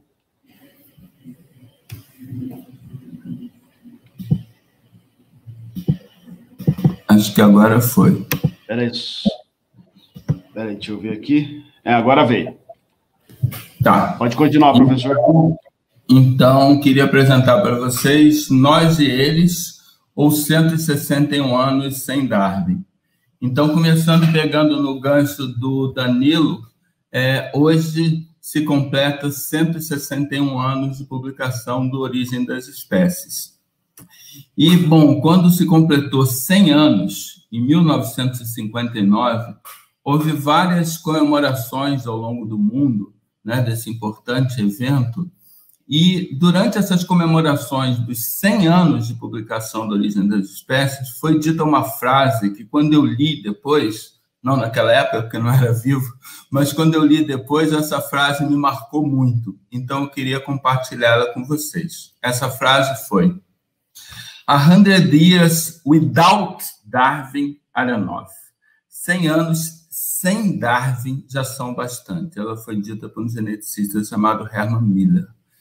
E a gente fica pensando, o que diabo esse cara quis dizer? No momento que as pessoas estão comemorando 100 anos da publicação, o cara diz 100 anos sem Darwin já são bastante.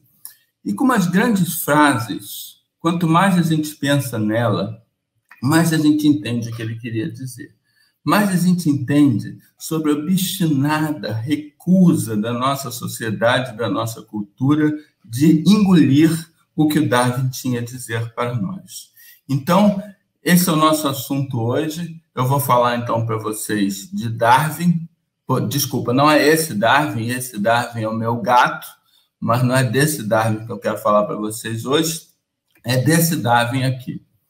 Então, bom, meu ponto de partida, e a Mariana falou um pouquinho sobre isso, que a evolução biológica existe é hoje um fato comprovado, além de qualquer dúvida razoável, testável e observável cotidianamente. Então, além de uma teoria, também é um fato comprovado, além de qualquer dúvida razoável. Mas esse não é o meu ponto aqui. Meu ponto aqui é que aceitamos a ideia de evolução racionalmente, epidermicamente, mas no dia a dia nos recusamos a engoli-la como base da percepção do nosso lugar na natureza. A maior contribuição de Darwin, conforme se sabe, não foi dizer que evolução existia. Várias pessoas tinham dito isso antes dele. Foi entender o principal mecanismo da evolução, fornecer um mecanismo plausível para a evolução. Porém, era clara para Darwin a maior implicação da existência da evolução em si. Todos nós, seres vivos, descendemos do mesmo ancestral comum. Todos nós descendemos do mesmo ancestral comum. Essa verdadeira bomba filosófica mostrava que os outros seres vivos não foram feitos para nós, e sim, nós somos parentes deles. Mas, no entanto, a gente não pensa assim. A gente não se vê como parente dos outros seres vivos no nosso cotidiano. E por que não? Então, eu pensei, ao longo dos anos, quatro barreiras de pensamento que eu acho que existem, que nós usamos para não ter que engolir Darwin. A primeira barreira, então, é a suposta teleologia do processo evolutivo. A segunda é a percepção do homem como uma espécie mais evoluída várias coisas aí eu vou estar falando e complementando coisas que a Mariana também falou. A terceira é a dificuldade de aceitar a falta de causa para a nossa existência, que eu chamei de a barreira de Monod. E a quarta é a percepção do homem como qualitativamente diferente das demais espécies, que eu chamei de barreira de Wallace. Então, primeiro queria discutir a coisa da teleologia, eu até uso aqui uma, uma imagem que a Mariana também usou, outra versão da mesma imagem. E teleologia é um processo que é orientado pelo seu final, por onde ele quer chegar. E eu queria argumentar que a gente podia muito bem, se as coisas tivessem sido um pouquinho diferentes, não estar aqui. É, então, em vez dessa ideia de teleologia, que é mostrada nessas imagens retiradas do livro do Stephen Jay Goulds, Wonderful Life, imagens é, de vários tipos, é, satíricas, até sexistas, etc. É, mas é, a gente, na verdade, o processo de evolução não é um processo teleológico, é um processo contingente. Eu vou falar mais sobre isso. Então, eu queria falar um pouquinho para vocês, muito rapidamente, da fantástica fauna do folheiro burgues. O folheiro burgues é uma fauna de invertebrados marinhos de plataforma continental que foram descobertos na Colômbia Britânica, que data de 530 milhões de anos atrás, meio do Cambriano, e que tem muitos bichos malucos, como marrela, anomalocaris, é, opabine, esses bichos que estão aí no canto inferior direito, a lucigênia, né, um bicho completamente louco, né, com é, é, espículas de, rígidas de calcário com pés e tentáculos no dorso, uma coisa maluca. Tudo isso é descrito por Stephen Jay Gould no Vida Maravilhosa, né, no Wonderful Life. E a gente sabe que essa fauna foi encontrada num estado de preservação maravilhoso, né, em Burger Sale, né, nessa jazida fossilífera, a gente sabe que é, ao longo da história da vida a gente teve gra vários grandes eventos de extinção, gigantescas extinções. A maior foi a do final do Permiano, início do Triássico. A segunda maior foi a do final do Cretáceo, início do Terciário. Vocês têm essas ondas todas de extinção aí. Né? E a gente sabe que pelo menos algumas dessas ondas de extinção, e para vários estudiosos, entre os quais, é, quer dizer, não que eu me inclua, mas eu, eu penso dessa forma, provavelmente todas, ou quase todas, essas ondas de extinção, existe cada vez mais evidência disso, foram causadas por gigantescos impactos de corpos celestes. Claro que a gente dificilmente vai saber com certeza, mas isso me parece mais consistente. Essa é o local de queda e a, do, no México, Chicxulub, meteorito que teria causado a extinção dos dinossauros há 65 milhões de anos atrás, né?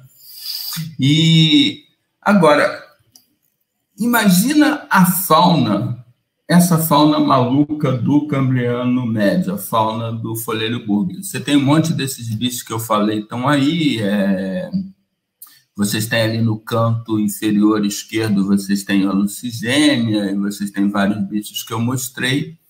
Vocês têm também exemplares de vários filos que estão aí hoje, como anelida, molusca, etc., equinoderma. E vocês têm, no canto inferior esquerdo, no, desculpa, no canto inferior direito, um bicho bastante insignificante, que está ali com o número 15. E vocês podem ver na legenda 15, picaia. Vejam o filo dele que está do lado. Cordata. Picaia é um protocordado. Picaia é o nosso representante na fauna de invertebrado do Cambriano médio. É o nosso ancestral.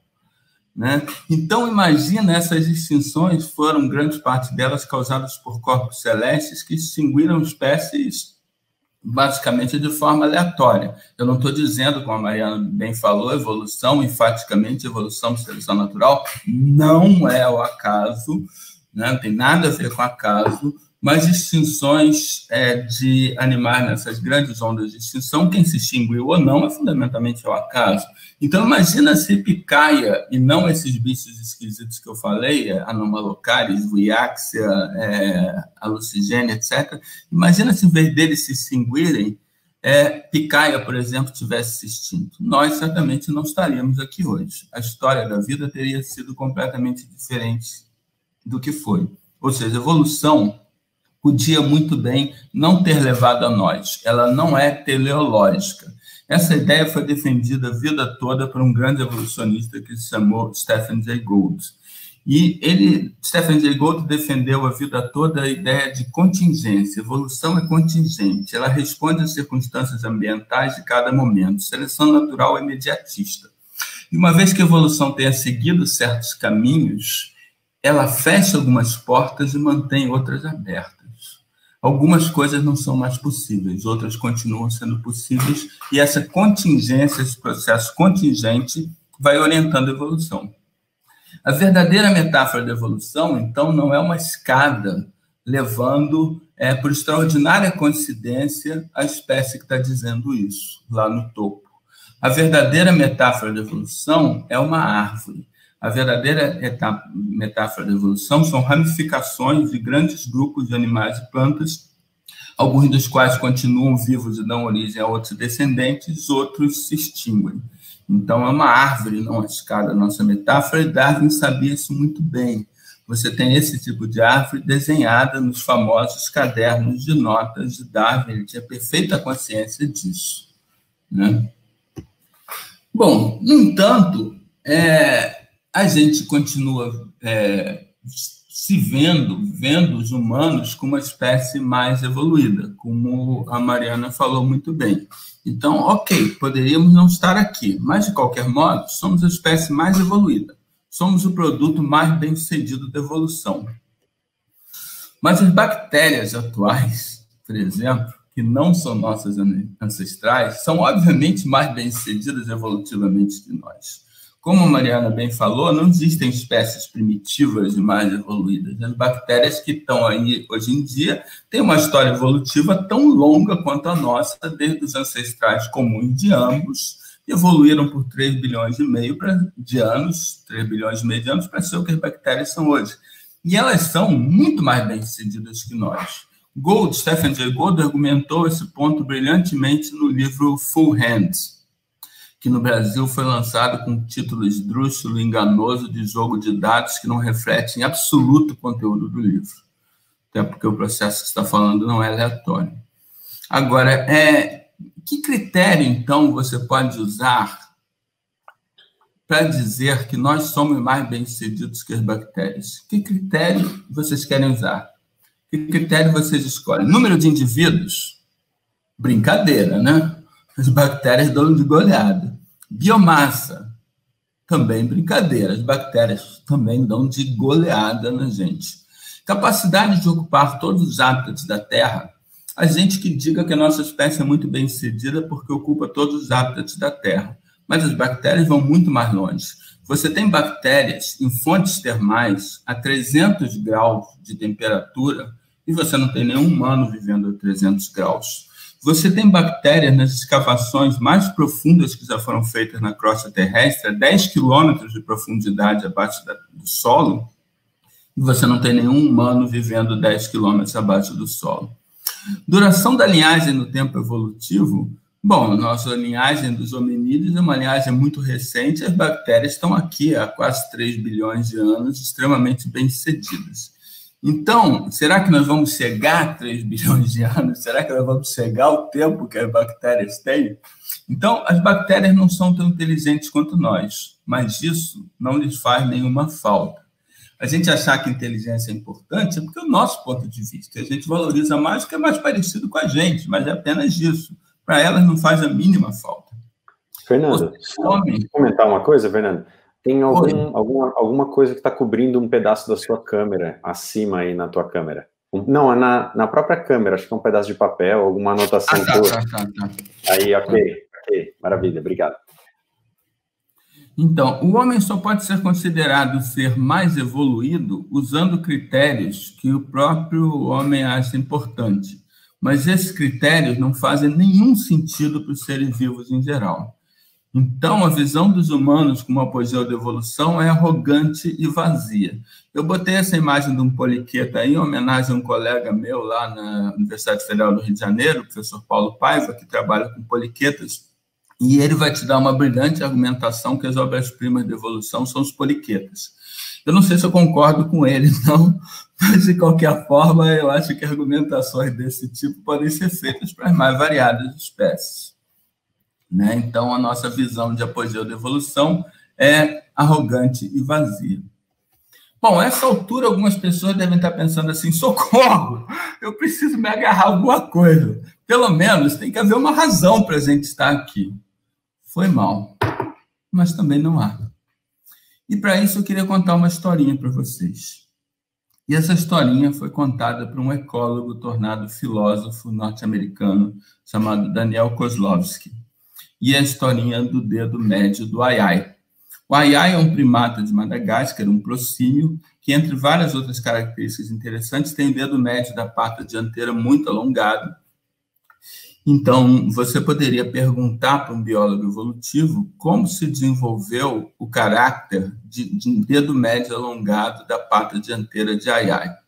E o biólogo evolutivo te diria: bom, é, na estação seca, você tem é, larvas de insetos que ficam debaixo das cascas das árvores, que são um recurso alimentar muito importante para aiais.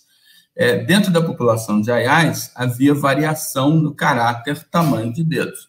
E os aiais que tinham tamanho de dedo um pouco mais longo foram mais bem-sucedidos em extrair larvas de inseto debaixo das cascas das árvores.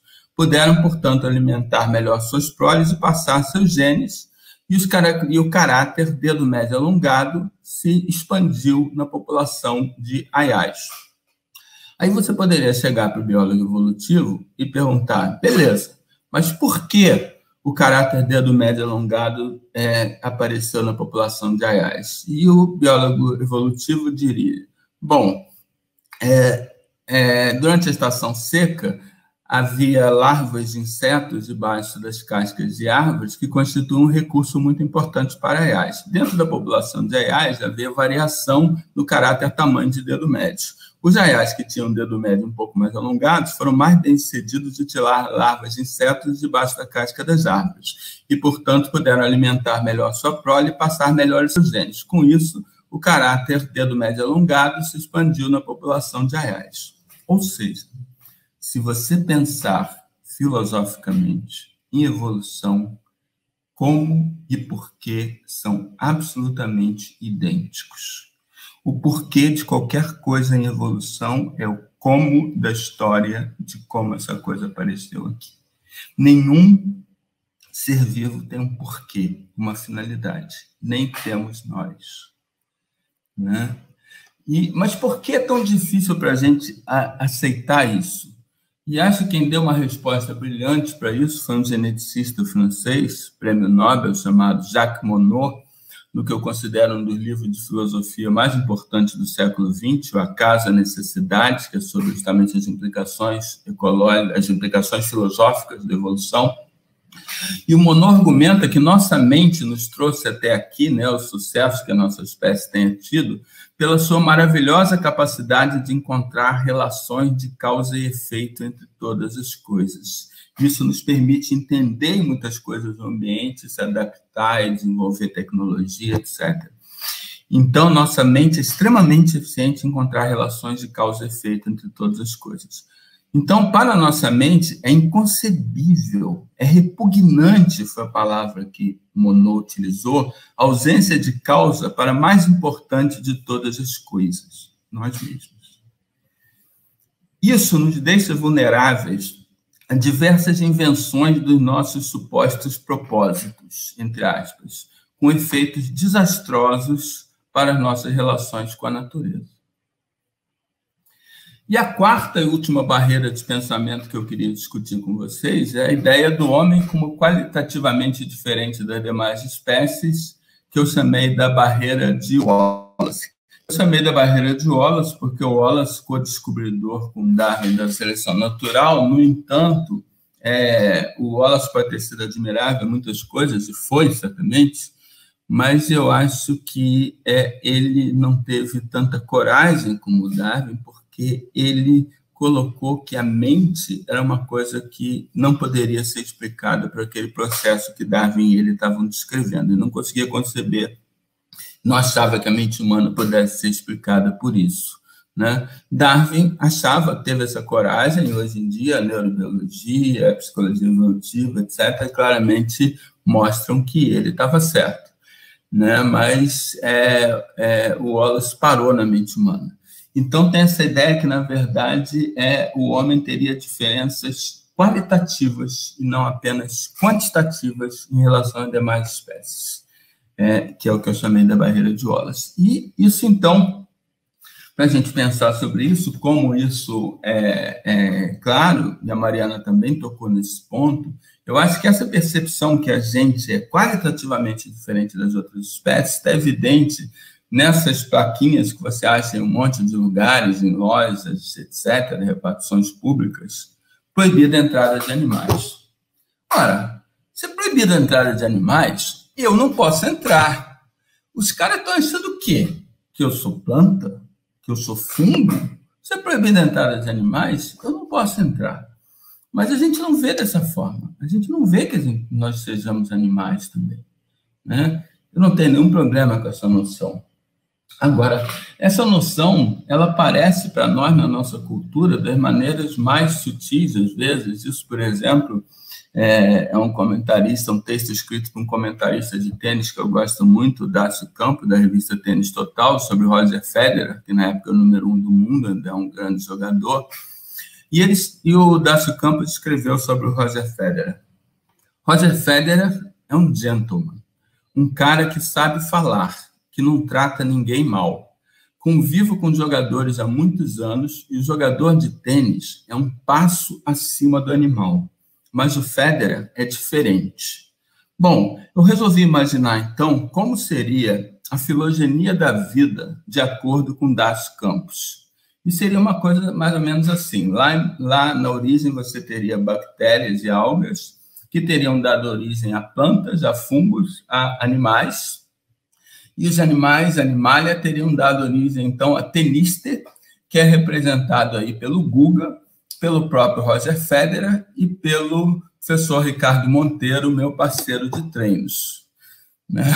Então, Quer dizer, isso mostra como a gente não, não se vê como animal. E a gente também se afasta das outras espécies, impõe um afastamento em relação a elas, através de todas aquelas frases feitas que vocês ouviram muitas. O homem é o único animal que. A única coisa que essas frases todas têm em comum é que elas são todas demonstravelmente falsas. Toda frase que você já ouviu, do tipo o homem é o único animal que, é demonstravelmente falsa. Então, versões que você já ouviu.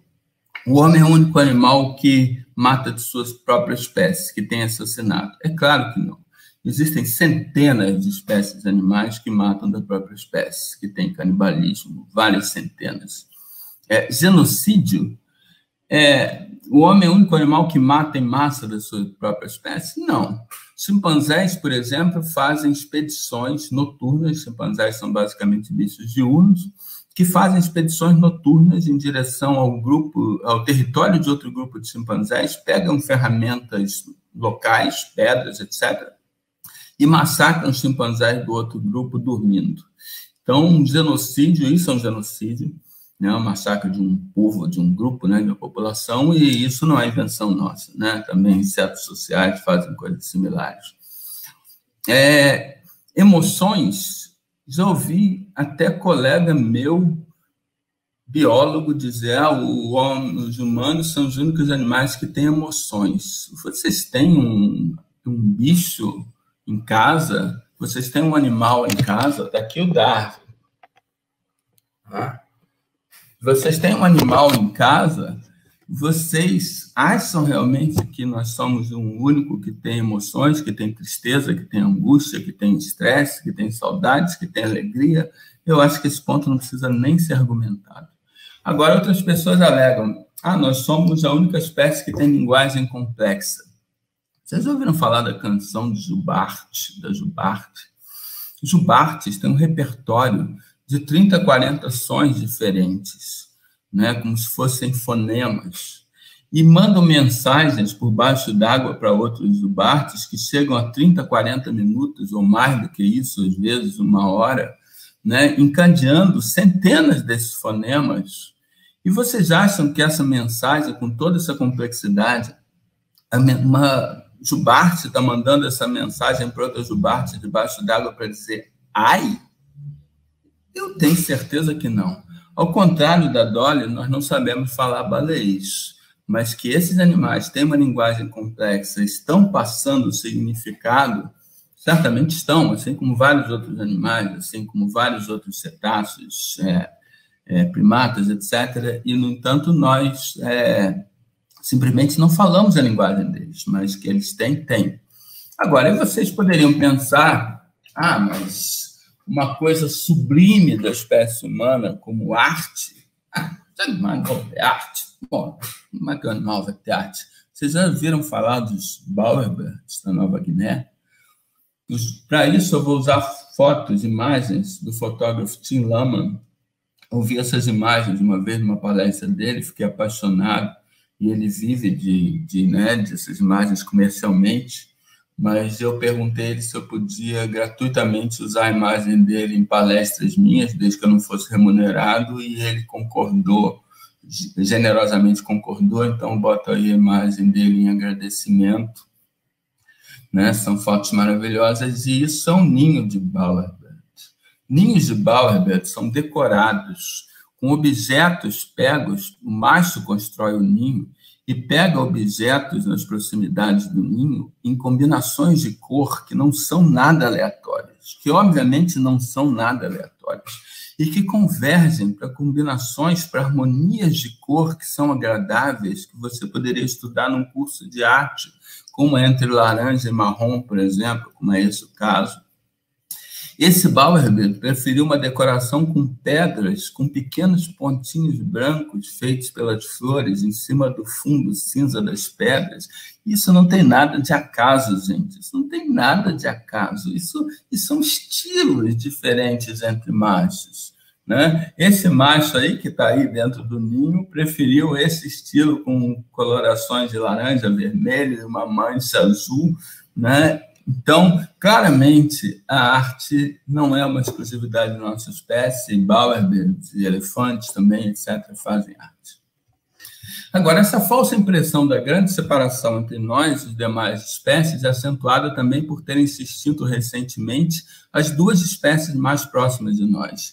Então, a gente acha que existe um grande gap entre nós e as espécies atuais que são mais próximas da gente, chimpanzés e bonobos, mas a gente esquece que muito recentemente, e possivelmente nós tivemos um dedo nisso, embora isso obviamente não seja comprovado, se extinguiram duas espécies mais próximas de nós, que eram Homo neanderthalensis, o Homo de Neandertal, que se extinguiu há cerca de 26 mil anos, e Homo floresiensis, que era o homem lá das flores, da Indonésia, que se extinguiu há 50 mil anos ou menos, né?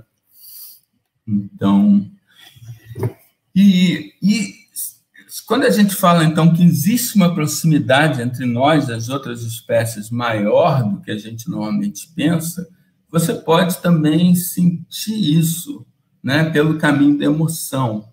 Né? Um geneticista pode te dizer que nós temos 99% de genes em comum, aproximadamente, dependendo da maneira como você mede, varia um pouquinho com as espécies mais próximas, as duas espécies de chimpanzé comum e bonobo, né? Mas é, você poderia também fazer uma coisa diferente. Você poderia ir num zoo e olhar muito bem para um chimpanzé. Você poderia ver como uma mãe chimpanzé alimenta seus filhos e ver que a, a maneira que uma mãe chimpanzé segura e alimenta seus filhos é idêntica à maneira que uma mãe humana segura e amamenta seus filhos. Você poderia olhar para uma mão de chimpanzé e ver que uma mão de chimpanzé tem todas as linhas da mão igual, iguais à sua mão. Você poderia pensar que com formas diferentes, um chimpanzé, um humano tem 212 ossos no corpo, um chimpanzé tem 210, só faltam dois ossículos de orelha que nós temos e ele não tem. Todos os outros ossos, em proporções diferentes, é claro, são os mesmos ossos que nós. E como a gente vai dizer, então, olhar para um animal desses, olhar nos olhos dele e dizer que nós somos gente e eles são bicho?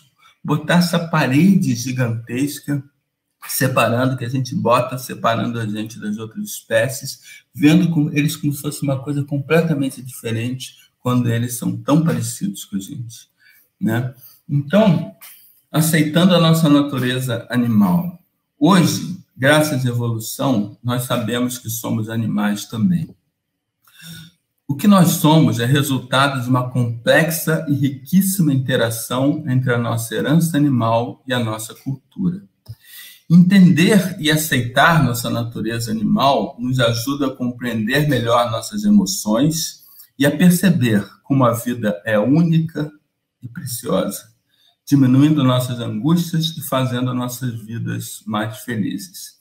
Isso que vocês estão vendo aí no fundo é, sou eu numa animada conversação com Ben Vole, né, Critiônomos Glariolos, né, durante a minha tese de doutorado. E compreender quem somos, acredite-me, compreender quem somos vale mais do que décadas de análise. Mas agora, por que é importante discutir essas coisas agora, quando a crise ambiental nos coloca diante do maior desafio que nós já enfrentamos? Quando nós enfrentamos coisas como essas, Amazônia, Pantanal pegando fogo, o gigantesco, nosso gigantesco consumismo, gigantesco aquecimento global causado por todos nós e doenças, é, doenças infecciosas vindo, na verdade, de do nosso abuso da natureza e através de outras espécies animais que estão passando essas doenças para nós. Então, por que é importante entender isso exatamente nesse momento? É, então, nós e eles, nós nos recusamos a engolir a evolução porque ela incomoda. Evolução incomoda justamente por evidenciar nosso parentesco com o restante da natureza, por enfatizar a nossa similaridade.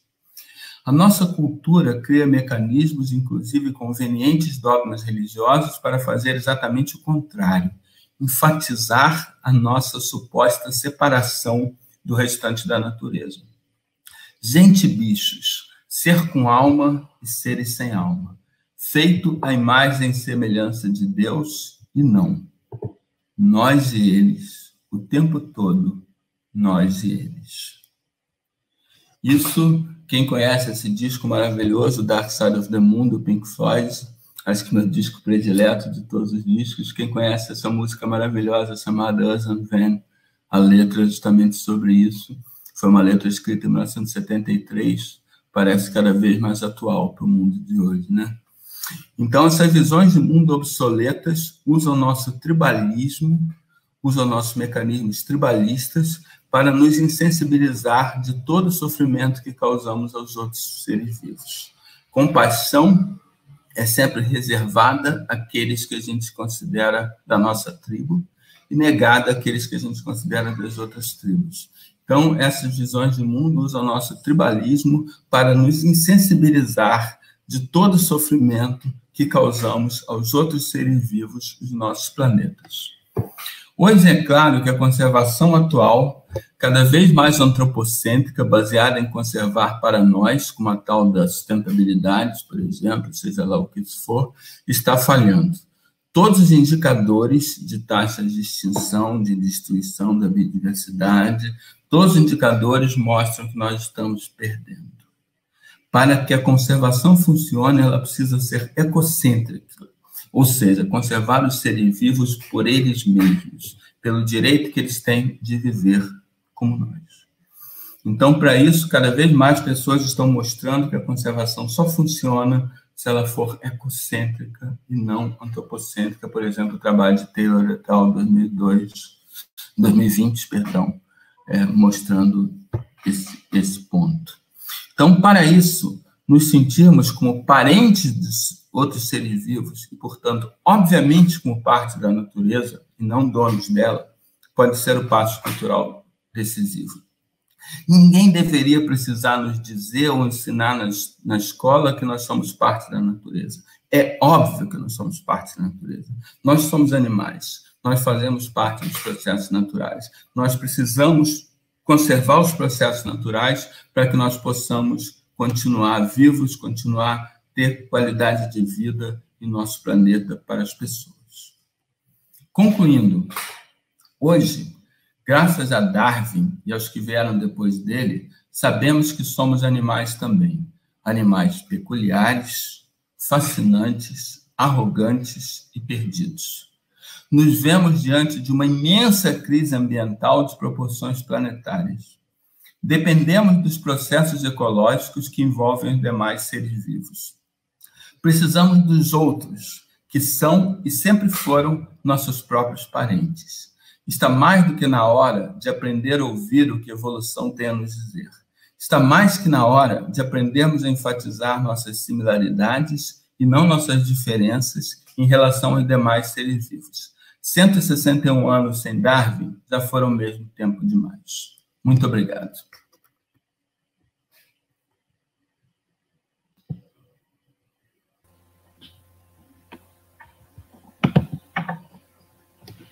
Bom, professor, muito obrigada pela palestra. Nós temos algumas perguntas.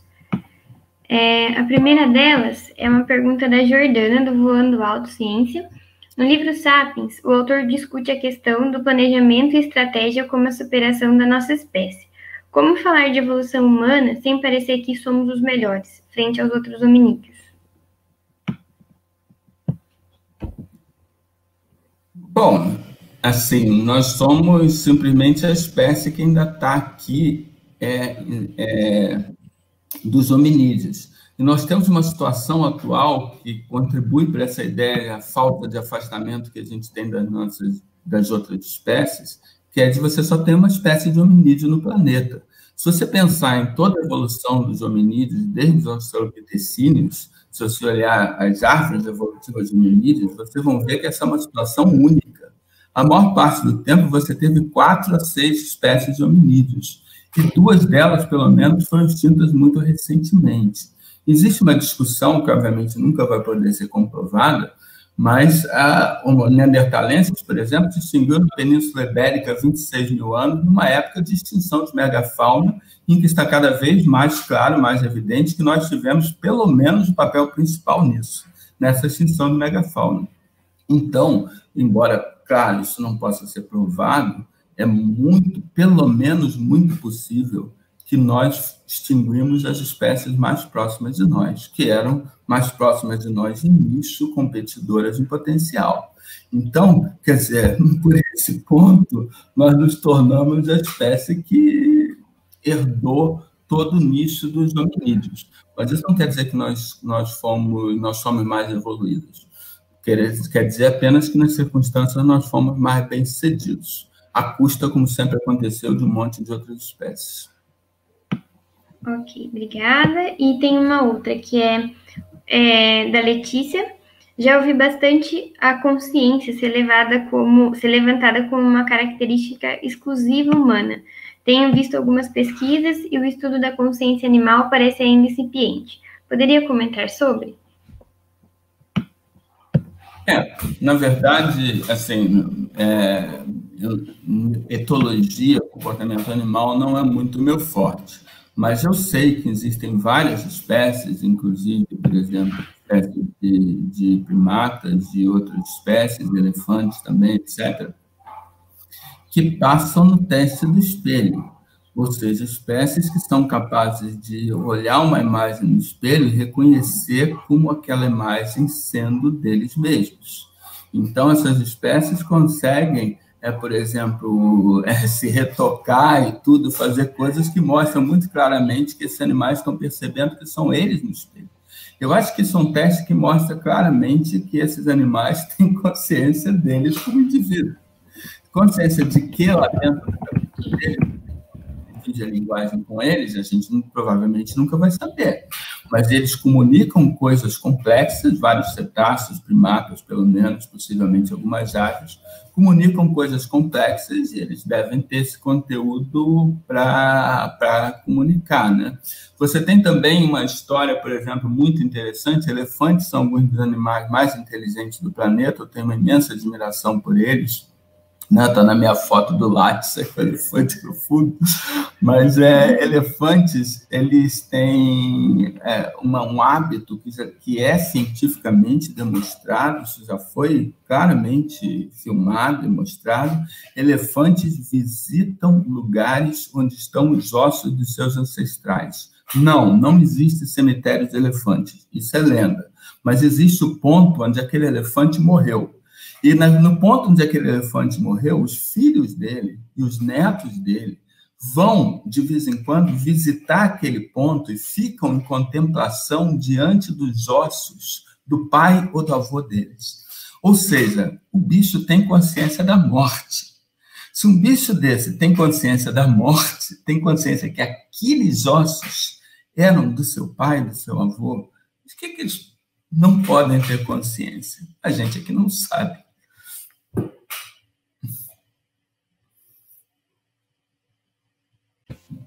Obrigada, professor.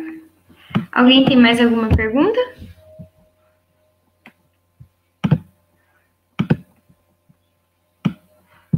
Não? Vários elogios, professor, ótima palestra. Adorei. Muito obrigada.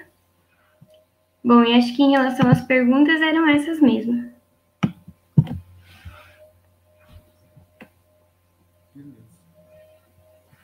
Bom, queria agradecer a vocês pelo convite.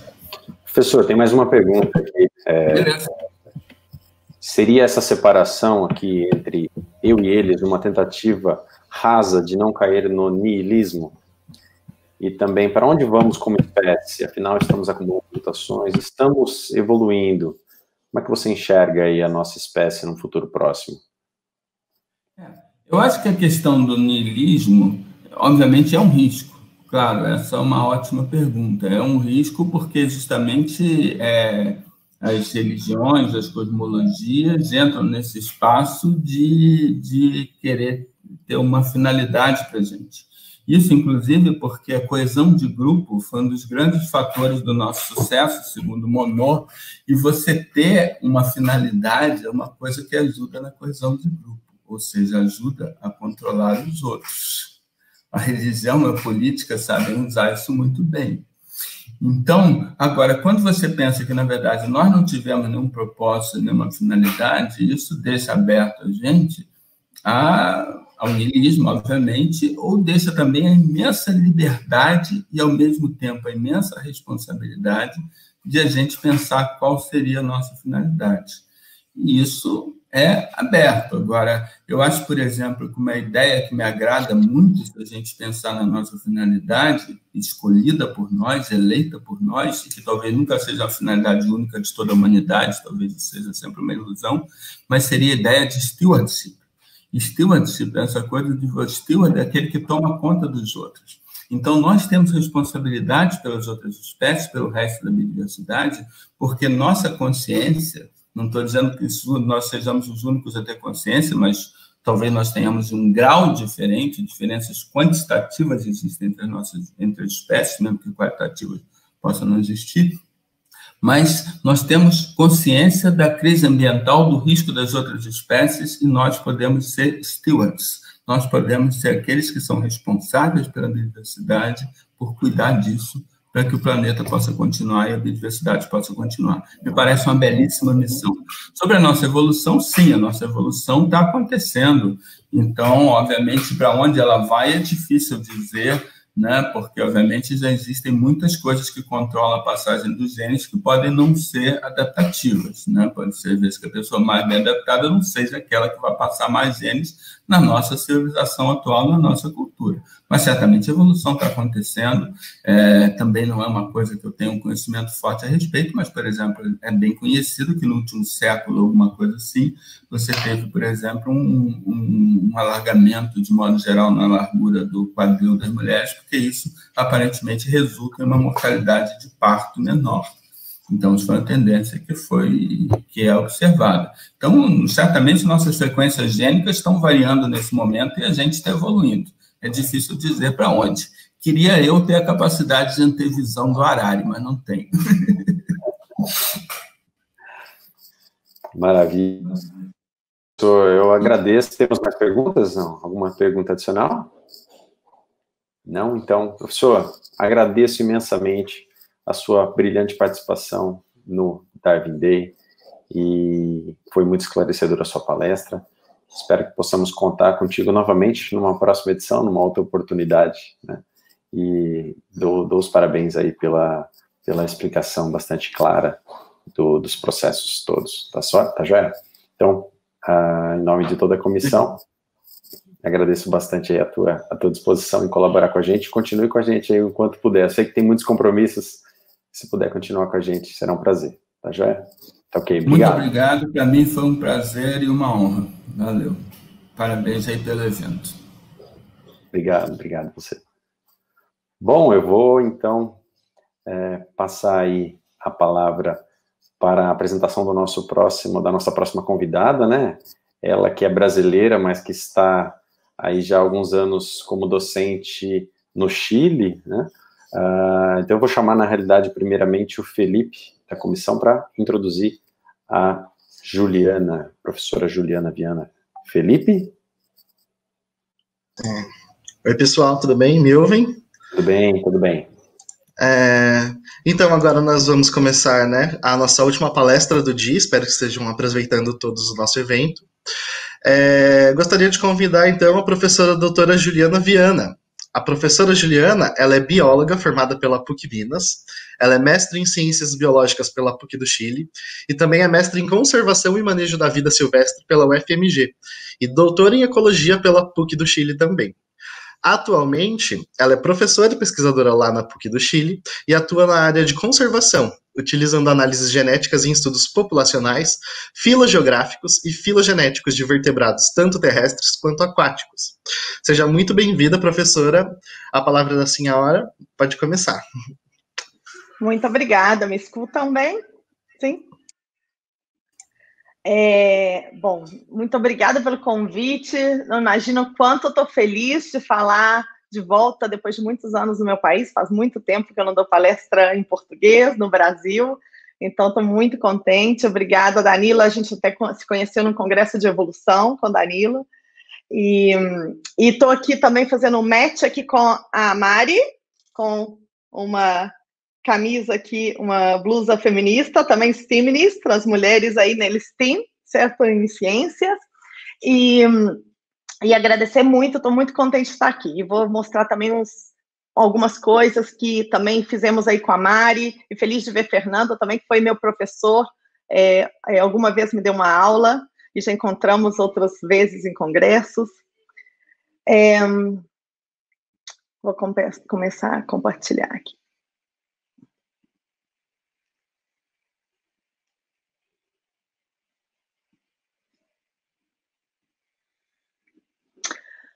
Bom, é, bom, é, bom dia a todos e todas. Então, hoje eu vou começar a falar da evolução de vertebrados na América do Sul e na Antártica e combinando dados é, genômicos e ambientais. É, bom, eu queria começar falando que é, eu sou parte do Centro de Câmbio Global da Universidade Católica do Chile. É, é um centro que tem professores de diferentes faculdades.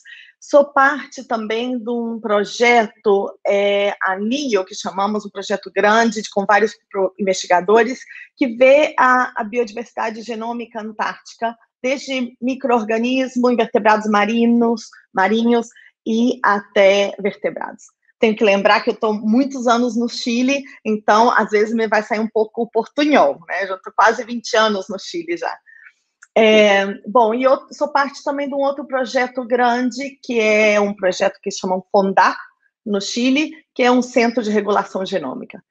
E também é muito importante, eu sou parte de uma rede de, é, feminista de pesquisadoras no Chile né, que nos, nos apoiamos e queremos mudar a realidade que vivemos a nível mundial, certo?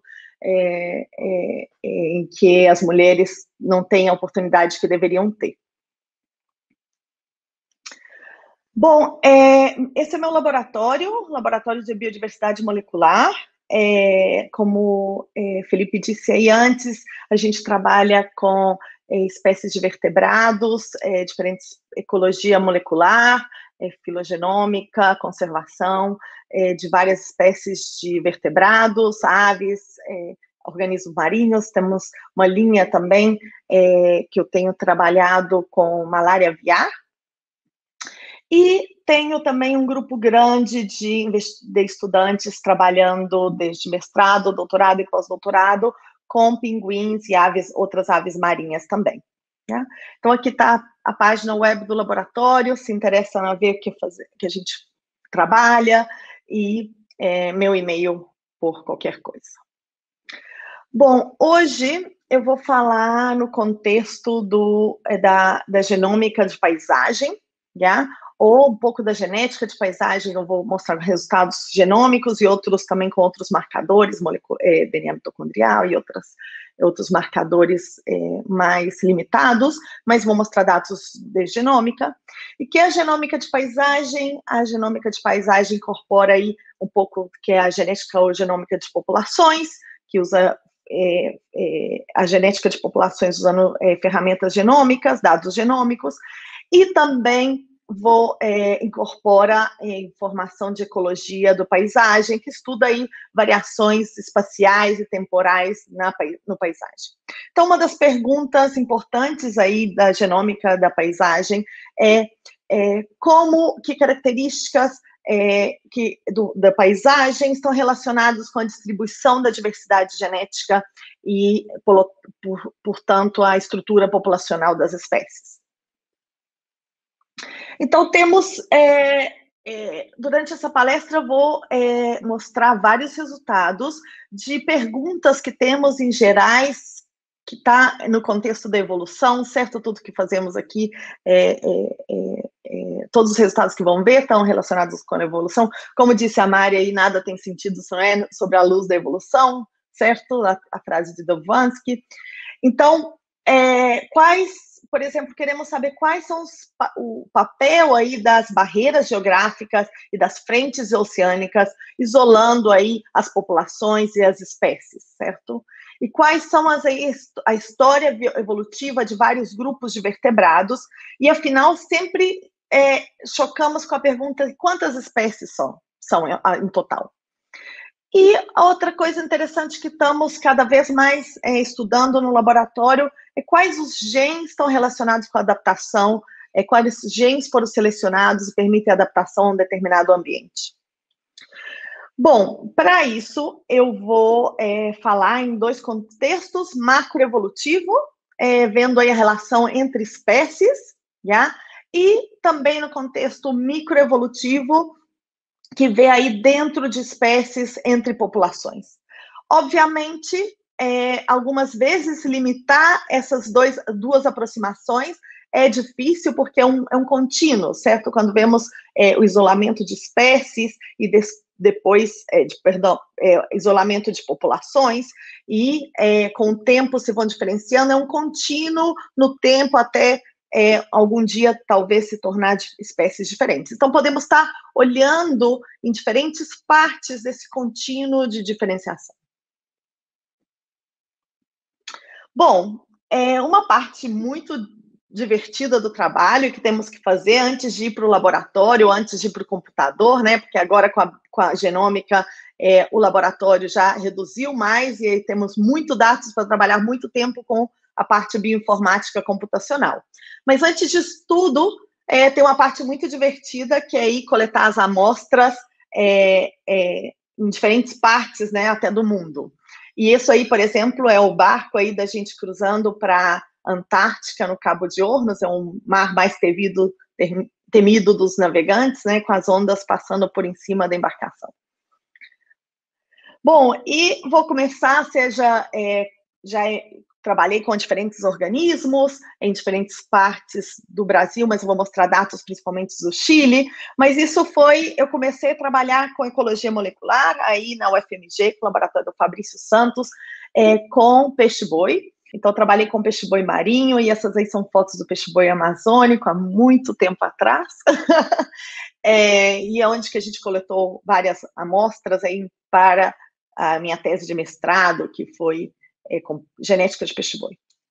Trabalhamos na, em toda a costa do Chile, aí coletando amostras, capturando lontras, por exemplo, coletamos amostras de sangue, mas também coletamos amostras de fezes para estudo mostra, mostras não invasivas, né, é, que nos permite ter um maior número de amostras. Então, coletando amostras de fezes aí entre as rochas em diferentes partes de toda a costa do Chile, desde o deserto até o sul. É, depois eu comecei a trabalhar aí com os pinguins. É, foi uma colaboração que comecei é, com Gisele Dantas, a professora da PUC Minas. Ela ganhou um projeto de colaboração para trabalhar com espécies é, pinguim de Humboldt de Magalhães, que estão na costa de Peru, Chile Argentina. Alguns indivíduos chegam ao Brasil.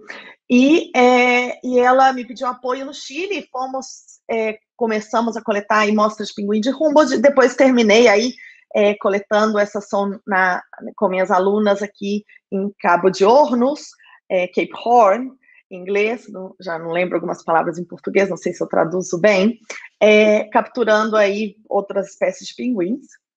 E depois chegamos a, a, trabalhar com espécies também que estavam aí na Antártica. Aí temos que ir de helicóptero a diferentes colônias, a capturar os animais, aí uma colônia de pinguim Papua, depois chegamos colônias mais ao sul, de pinguins Adelie, para coletar aí amostras de sangue para estudo genético. Então, capturamos os animais, coletamos a amostra e liberamos em seguida. Bom, eu vou começar então um pouco com os resultados é, macroevolutivos, é, depois vou passar para alguns resultados dos trabalhos que fizemos no laboratório microevolutivos e vou sempre tentar começar é, desde o mais ao norte até mais ao sul, em cada um dos, das duas aproximações. Né? Então, é, em termos macroevolutivos, esses são resultados bem frescos aí de um estudante de, do laboratório. Cada é, é, linha vertical aí é um indivíduo, yeah?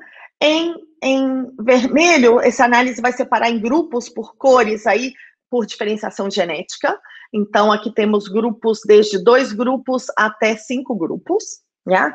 E é, em vermelho podem ver uma separação do cupeu, e aqui é, em, em amarelo é, o cinza e o de Darwin. Yeah?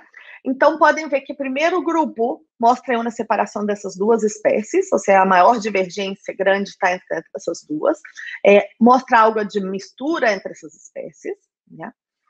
E a partir dos três grupos mostram também aí a separação do, de Darwin, né? com alguma coisa de mistura também entre as espécies. Né?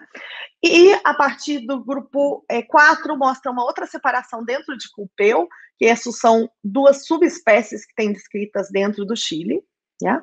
e depois alguma coisa de separação de, do cinza também. Yeah? É, isso já nos indica algum sinal aí de introgressão entre as espécies, mas ele fez uma outra análise também que para calcular um estatístico D, que é, que é uma análise que chama Abababa, yeah? e a, essa análise mostra aí alguma coisa de introgressão entre ele, é, a raposa do, de Darwin e o cupeu. E isso pode ser também um indício, igual que esse análise, que está ocorrendo, assim, a Bababa mostra introgressão, ou seja, híbridos mais do passado, e essa análise pode ser um indício que está ocorrendo introgressão, e isso pode ter proporcionado diferenças em nas filogênias que nós encontramos nos nossos resultados com as outras várias filogênias que foram publicadas anteriormente. Então, além de tudo, obviamente, estamos utilizando um, um grande um, um número de marcadores muito maior que os estudos anteriores, que a maioria era baseado no DNA mitocondrial, que é linhagem, é linhagem materna e poucas sequências. Ah, só para mencionar aqui, por exemplo, essa análise de mixture, ele fez com 147 mil SNPs. Yeah? Esses SNPs são as variações que se observa, não single nucleotide polimorfismo, as variações que se observa entre é, os diferentes genomas, certo? As mutações pontuais. Bom, agora passando da, do Chile, certo, do continente, para aproximação macroevolutiva, eu vou para, ir para agora para a, a, Antártica, ou na mais verdade no Oceano Austral e todo o hemisfério sul. É, os pinguins, é, é, vou passar para os pinguins agora, que são aproximadamente 18 espécies depois vão entender por que aproximadamente durante a palestra. É, estão distribuídos é, é, em Antártica e em alguns continentes como Sul África, é, Nova Zelândia, Sudamérica e chegam até Galápagos, né? Mas normalmente associado com águas frias. E a história evolutiva dos pinguins tem vários debates.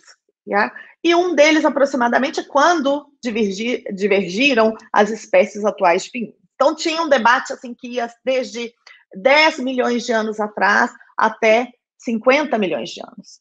Então, é, e outro debate importante era a posição aí dos aptenodites, é, que são o rei e imperador, se era o primeiro clado, o primeiro grupo a divergir, ou, como esse outro trabalho, se era o grupo irmão dos pigoceles, que é o pinguim de Adelie, Papua e Antártico.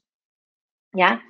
Então, é, queríamos ver isso, e para isso sequenciamos aí o genoma de todas as espécies de pinguins, é, e publicamos esse ano na PNAS, e tivemos aí a sorte de que escolheram como capa da, da revista, um jornal científico bem reconhecido, então ficamos bem contentes.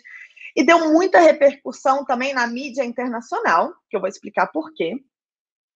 Então, aqui vimos a relação evolutiva entre os pinguins.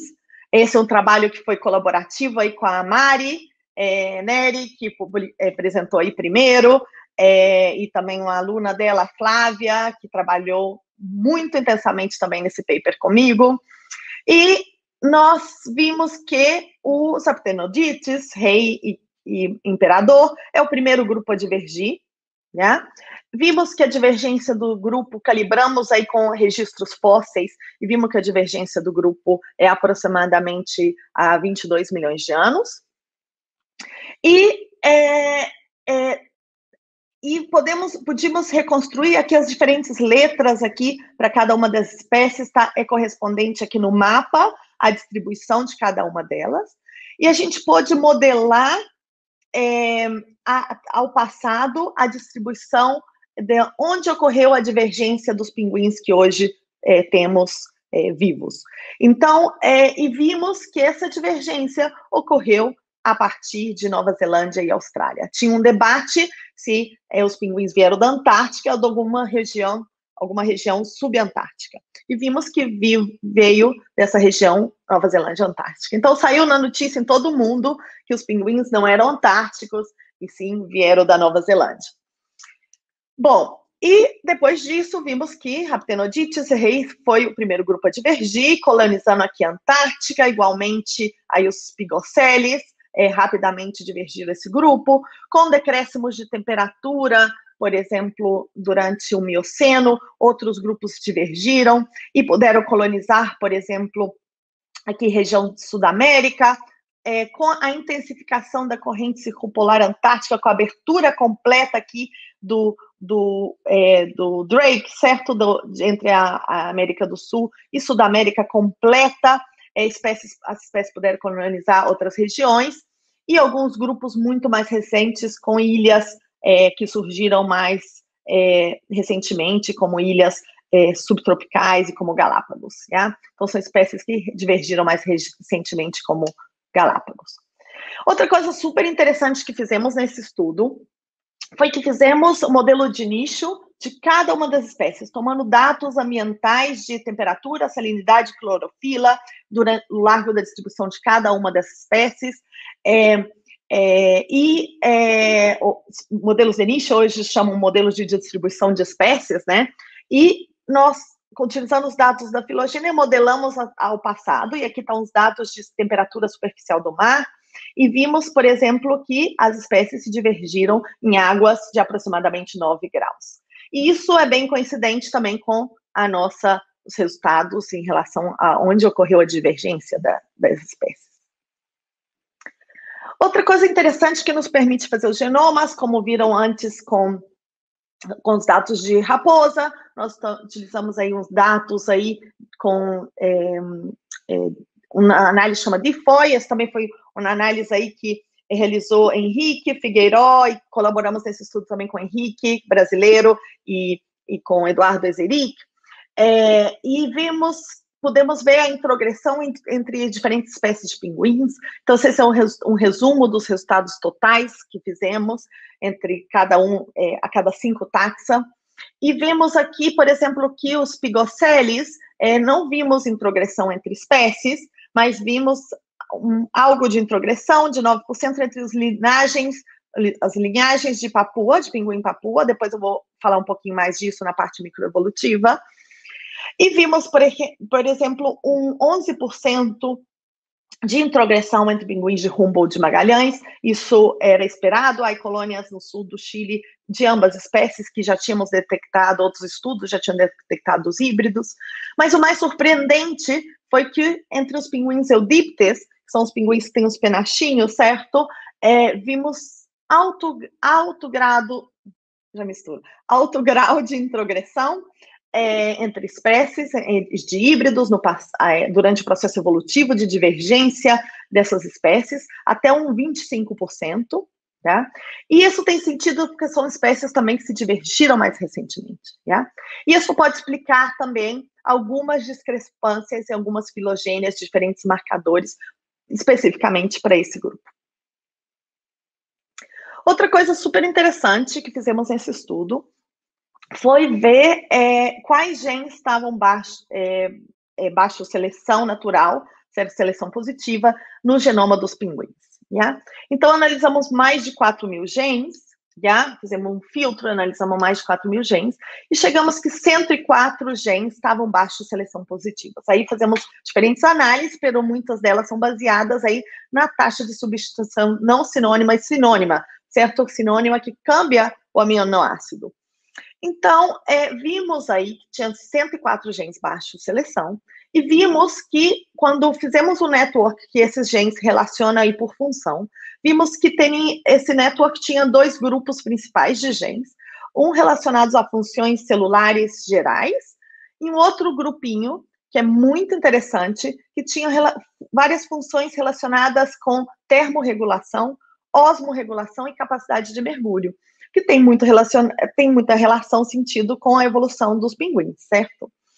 E é, muitos relacionados a vasoconstrição, vasodilatação, é, regulação da função renal, oxigenação, certo? Um que é muito famoso que é mioglobina, que é muito eficiente aí no transporte de oxigênio, mais que hemoglobina, né?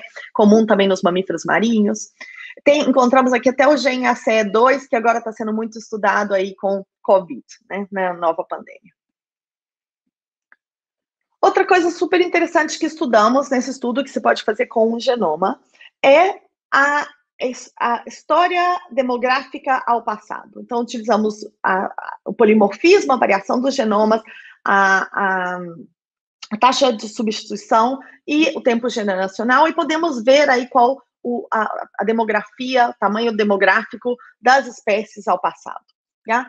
E podemos ver aqui, por exemplo, que é, aqui tem diferentes, todas as espécies, cada linha é uma espécie diferente de pinguim.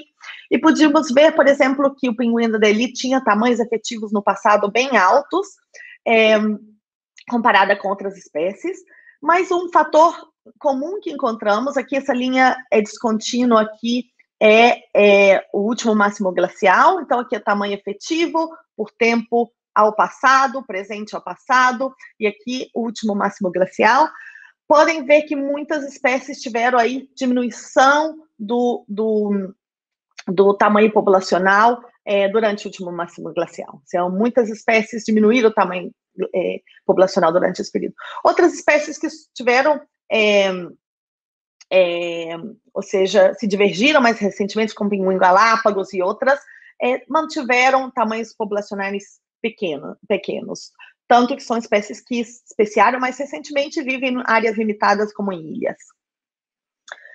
Bom, então isso era um pouco o que é, estudamos a nível é, macroevolutivo. Agora eu vou passar a estudos que vimos microevolutivos dentro de espécies ou dentro de espécies muito relacionadas evolutivamente, muito cercanas. É, eu vou começar é só vou mostrar um estudo do Brasil, todos os outros são é, do Chile, mas esse foi o meu primeiro, minha primeira publicação científica em ecologia molecular, e até publiquei no Molecular Ecology há muitos anos atrás, em 2006, e foi com peixe-boi. Então, a gente estudou aí o peixe-boi marinho, em vermelho, o peixe-boi da Amazônia e africano, as três espécies de peixe-boi, é, e construímos, foi DNA mitocondrial, só lá, nessa época, e construímos aqui esse network. É, cada círculo é um haplotipo diferente, ou seja, uma sequência diferente. É, o tamanho do círculo reflete quantos indivíduos têm essa sequência. E o, o comprimento das, é, da, das ramas, branches, já esqueci a palavra em português, é, é, quanto maior, maior as mutações que separam. Então, vocês podem ver aqui um grupo somente de amazônico, três grupos genéticos diferenciados para o peixe-boi marinho e dois para o africano. E uma coisa interessante, por exemplo, que vimos é que um dos grupos separados aqui, diferenciados de peixe-boi marinho, está separado por esse conjunto de ilhas, que durante o, a, os períodos de glaciações, também o último máximo glacial, por exemplo, os, o oceano baixou o nível do mar até 100 metros. E isso expôs barreiras que são essas conjunto de ilhas contínua como barreiras geográficas para a espécie poder passar. Então, se isso gerou essa diferenciação. Outra coisa que encontramos interessante, podem ver aqui, tem aqui um azul, e dentro dos amazônicos tem uns vermelhos. Vimos que encontramos híbridos entre as duas espécies na, é, na boca do rio Amazonas e um pouco aqui na, na costa, nessa região. Bom, do Brasil, que foi um exemplo para é, lembrar aí dos meus estudos no Brasil, é eu vou passar agora para os estudos que fizemos no Chile, e isso também com DNA mitocondrial, a Nicole estudou essa, essa espécie, ela queria estudar serpentes, eu nunca tinha trabalhado com essa, é, cobra antes, e ela estudou essa essa espécie de cobra. No Chile tem só duas cobras, praticamente, no continente. É uma que eles chamam de, co de cola comprida, cola curta, essa de cola comprida. E coletamos amostras aí em toda aí a costa do Chile, aqui está é, no mapa, essa é a região central, Santiago está por aqui.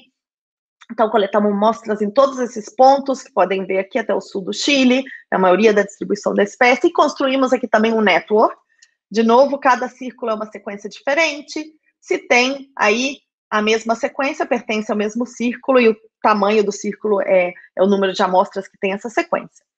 E aqui podem ver quatro grupos genéticos bem diferenciados, certo? É, e esses grupos, essas cores estão representadas aqui no mapa. Então, podem ver aqui, no norte tem um grupinho, aqui na região central tem dois grupos, e no, sul todo outro grupo genético. E é bem interessante porque vimos que os grupos genéticos estão bem separados aqui para o norte ao sul do rio Maipo, que é um rio muito importante na região central do Chile. Então, e esse rio teve um volume de água muito maior durante o último máximo glacial, porque a extensão do gelo no nível da cordilheira chegou até a região central. Então, era um rio que tinha muito volume de água, então ele é, gerou aí esse isolamento e diferenciação genética e que manteve até hoje, hoje essa diferenciação. Podem ver aqui que ao norte e ao sul são grupos genéticos bem diferenciados. E depois outros estudos com jaca, que é um pequeno mamífero, e com é, largatixas mostraram exatamente esse mesmo quebre, é, essa mesma diferenciação norte ao sul do rio Maipo. Esse é um trabalho também com DNA mitocondrial, é, que estudamos esse ano com uma com espécie de, de beija-flor, é um beija-flor pequeno, uma espécie que está distribuída aí no, no, no, desde o norte do Chile até o sul. É, aqui já estamos um pouquinho maior aqui no mapa, é, tem amostras desde do norte até o sul. É, essas todas pontos aqui são amostras que coletamos, e podem ver essa linha aqui, mostra o limite, o limite do gelo durante o último máximo glacial. Já? O gelo cobriu toda essa extensão e também chegou um pouco mais ao norte, na região da, da cordilheira. Já? Mas podem ver que os padrões que geram normalmente a extensão do gelo durante os períodos de glaciações pode levar à extinção da espécie aí, e depois recolonizar a espécie, recolonizar essa área com o retrocesso do gelo, gerando aí um efeito fundador e uma baixa diversidade genética, e muito semelhante à do norte, nesse caso. Mas pode também ser que, alguma, que os indivíduos são capazes de sobreviver em refúgios, em áreas específicas na, é, livre do gelo ou em áreas é, específicas é, por atividades vulcânicas ou que seja do, na extensão do gelo. E o que a gente encontrou quando analisamos essas amostras foi que realmente tem um grupo do norte, é, principalmente, também tem algum grau de mistura, e um grupo do sul bem, diferenciado do do norte, com algo de diferenciação, e que está, realmente, esse grupo está somente aqui na extensão do gelo. Esse é um padrão, e quando isso é uma análise espacial, genética espacial, com Ginland, vendo aí a posição geográfica das amostras no mapa, e os dados genéticos, vemos aí que tem essa diferenciação aqui. Obviamente, tem alguns indivíduos migrantes, como podem ver aqui, verde, é, migraram aí para o norte, certo? Mas não ao contrário. Então, e esse é um padrão muito clássico de quando as espécies são capazes de sobreviver em áreas específicas dos, do, né, na áreas cobertas por gelo, ou em refúgios glaciais. Bom, e para comprovar isso, essa nossa hipótese é um mais, utilizamos aí modelos de nicho, modelos de distribuição de espécies. Aí tomamos a informação das, de todos as, os registros da distribuição da espécie no Chile e na Argentina, essa toda a distribuição dessa espécie.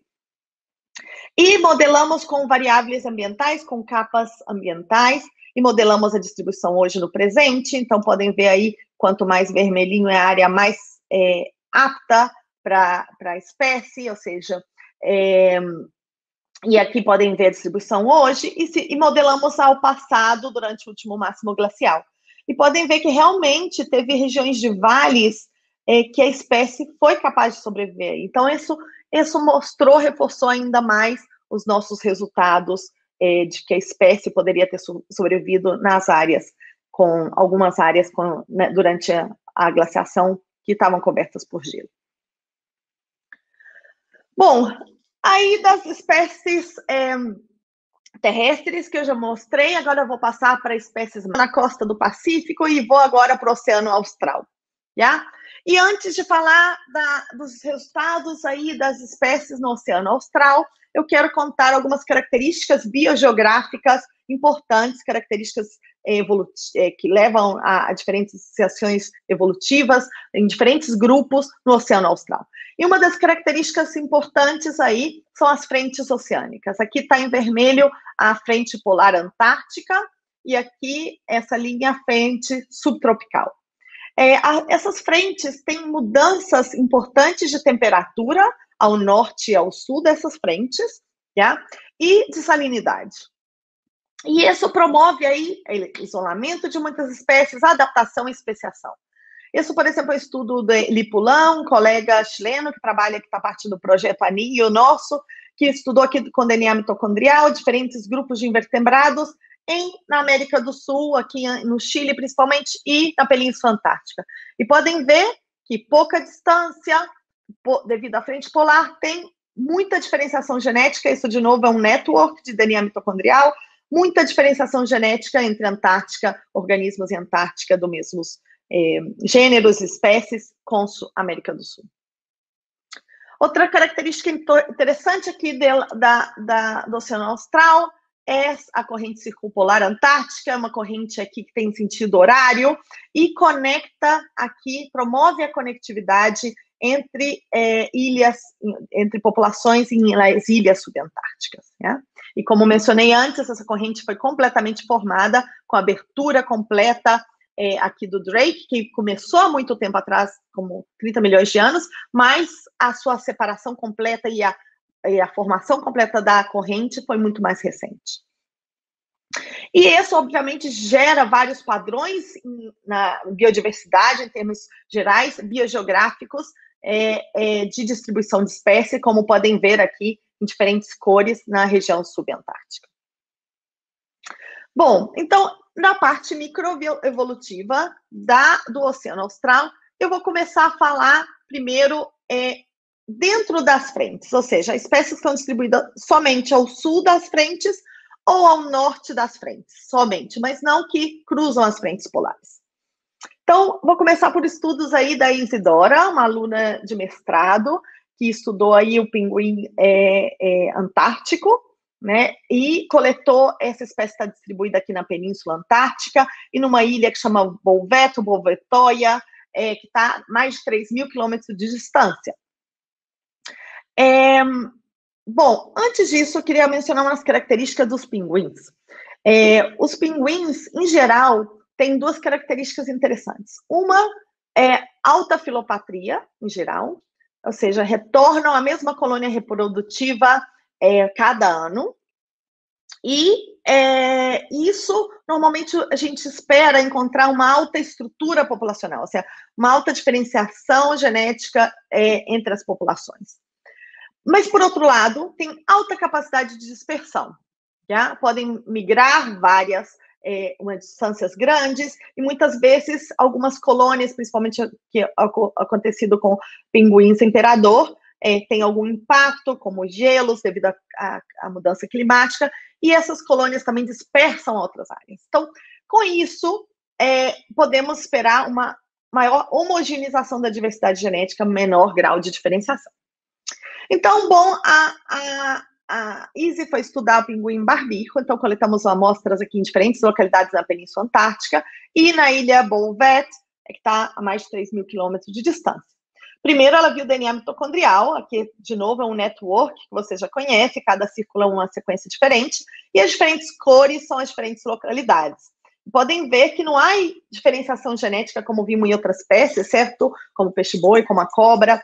É, não tem uma, uma, divergência genética, e mais bem uma alta diversidade, e é, há haplotipos, sequências compartilhadas entre diferentes, localidades. Bom, e quando ela foi estudar microsatélites, que é um marcador também molecular, ou dados de SNPs, de novo, genômicos, utilizando a técnica aqui de Didirat, é, vimos com os valores da FST, por exemplo, que vai de 0 a 1. Um. Se é significativo e mais ser próximo de 1, um, maior diferenciação populacional, maior estrutura populacional. Então, o que vimos é que não são significativos em geral, aqui estão significativos com asterisco. Os mais significativos são não com Bolvetoia, com Bolvet, mas sim com George Point, que é uma colônia que está mais ao sul da distribuição. Ou seja, há, obviamente, tem um fator aqui limitante ambiental que pede que essa espécie esteja mais ao sul, e, obviamente, esse fator aqui está é, é, tá também ajudando aí, promovendo o isolamento aí dessa colônia um pouco mais. Mas, assim mesmo, a estrutura é bem baixa, a diferenciação é baixa, muito pouquinha. E igual vimos aqui, essa é análise de componente principal, com dados de SNPs, yeah? então aqui vem cada cor, aqui é uma localidade diferente, de novo, vemos aí é, o George Point, uma diferenciação das, das outras colônias. Yeah? Bom, outro estudo que vimos é, genético é, foi com pinguim de Adelie. Essa é uma espécie junto com o imperador, que é verdadeiramente antártica, ou seja, essas duas espécies estão ao redor de toda a Antártica. Yeah? E teve alguns estudos com DNA mitocondrial que mostrava que não tinha muita diferenciação genética entre as colônias, mas tinha um grupinho genético bem diferenciado, yeah? que era aqui do Mar de Ross. Yeah?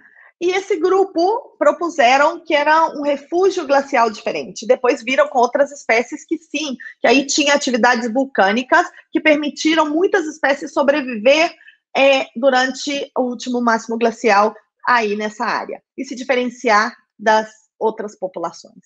Yeah? Então a gente queria ver é, que o DNA mitocondrial não é tão adequado para ver estrutura a fina escala, se realmente é, com dados genômicos tinha aí essa diferenciação entre as outras colônias é, é, é, de pinguim Adeli que não tinham visto com DNA mitocondrial.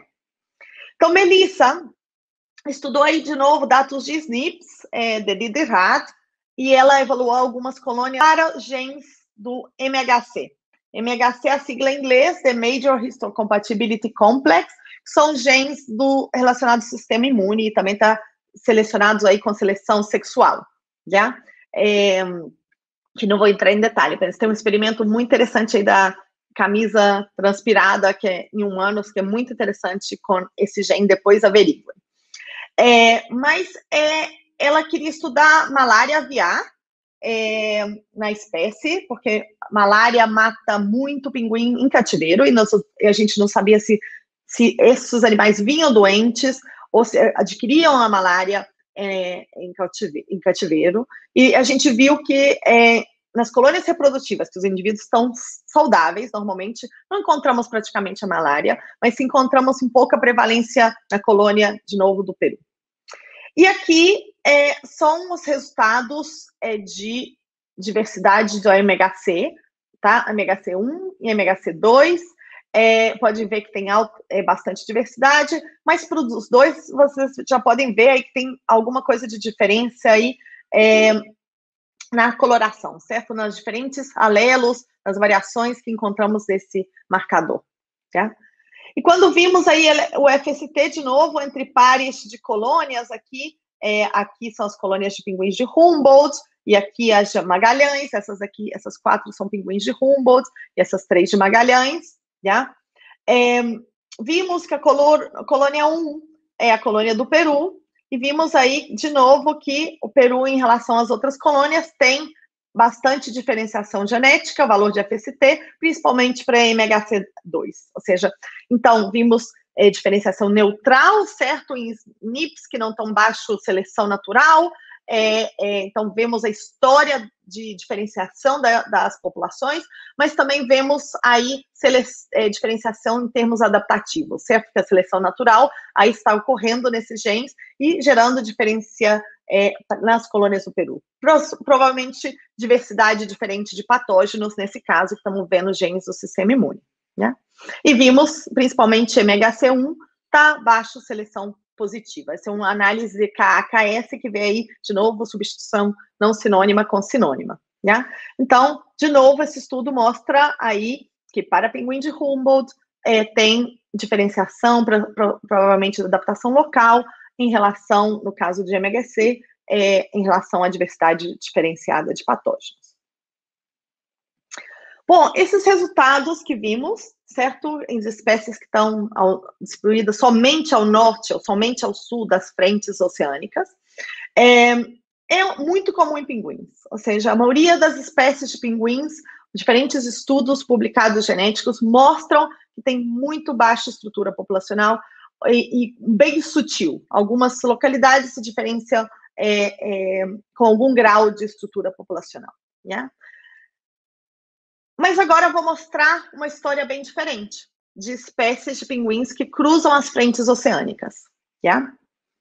E vai começar com os pinguins que são é, é, crestados, como disse em espanhol, com que tem os penachinhos, certo? Que tem as, essas penas é, é amarelas é, na cabeça, já? E são aproximadamente oito espécies dessas, desse pinguim.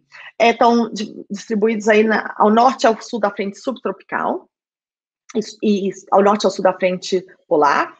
É, é um grupo que se divergiu recentemente, já?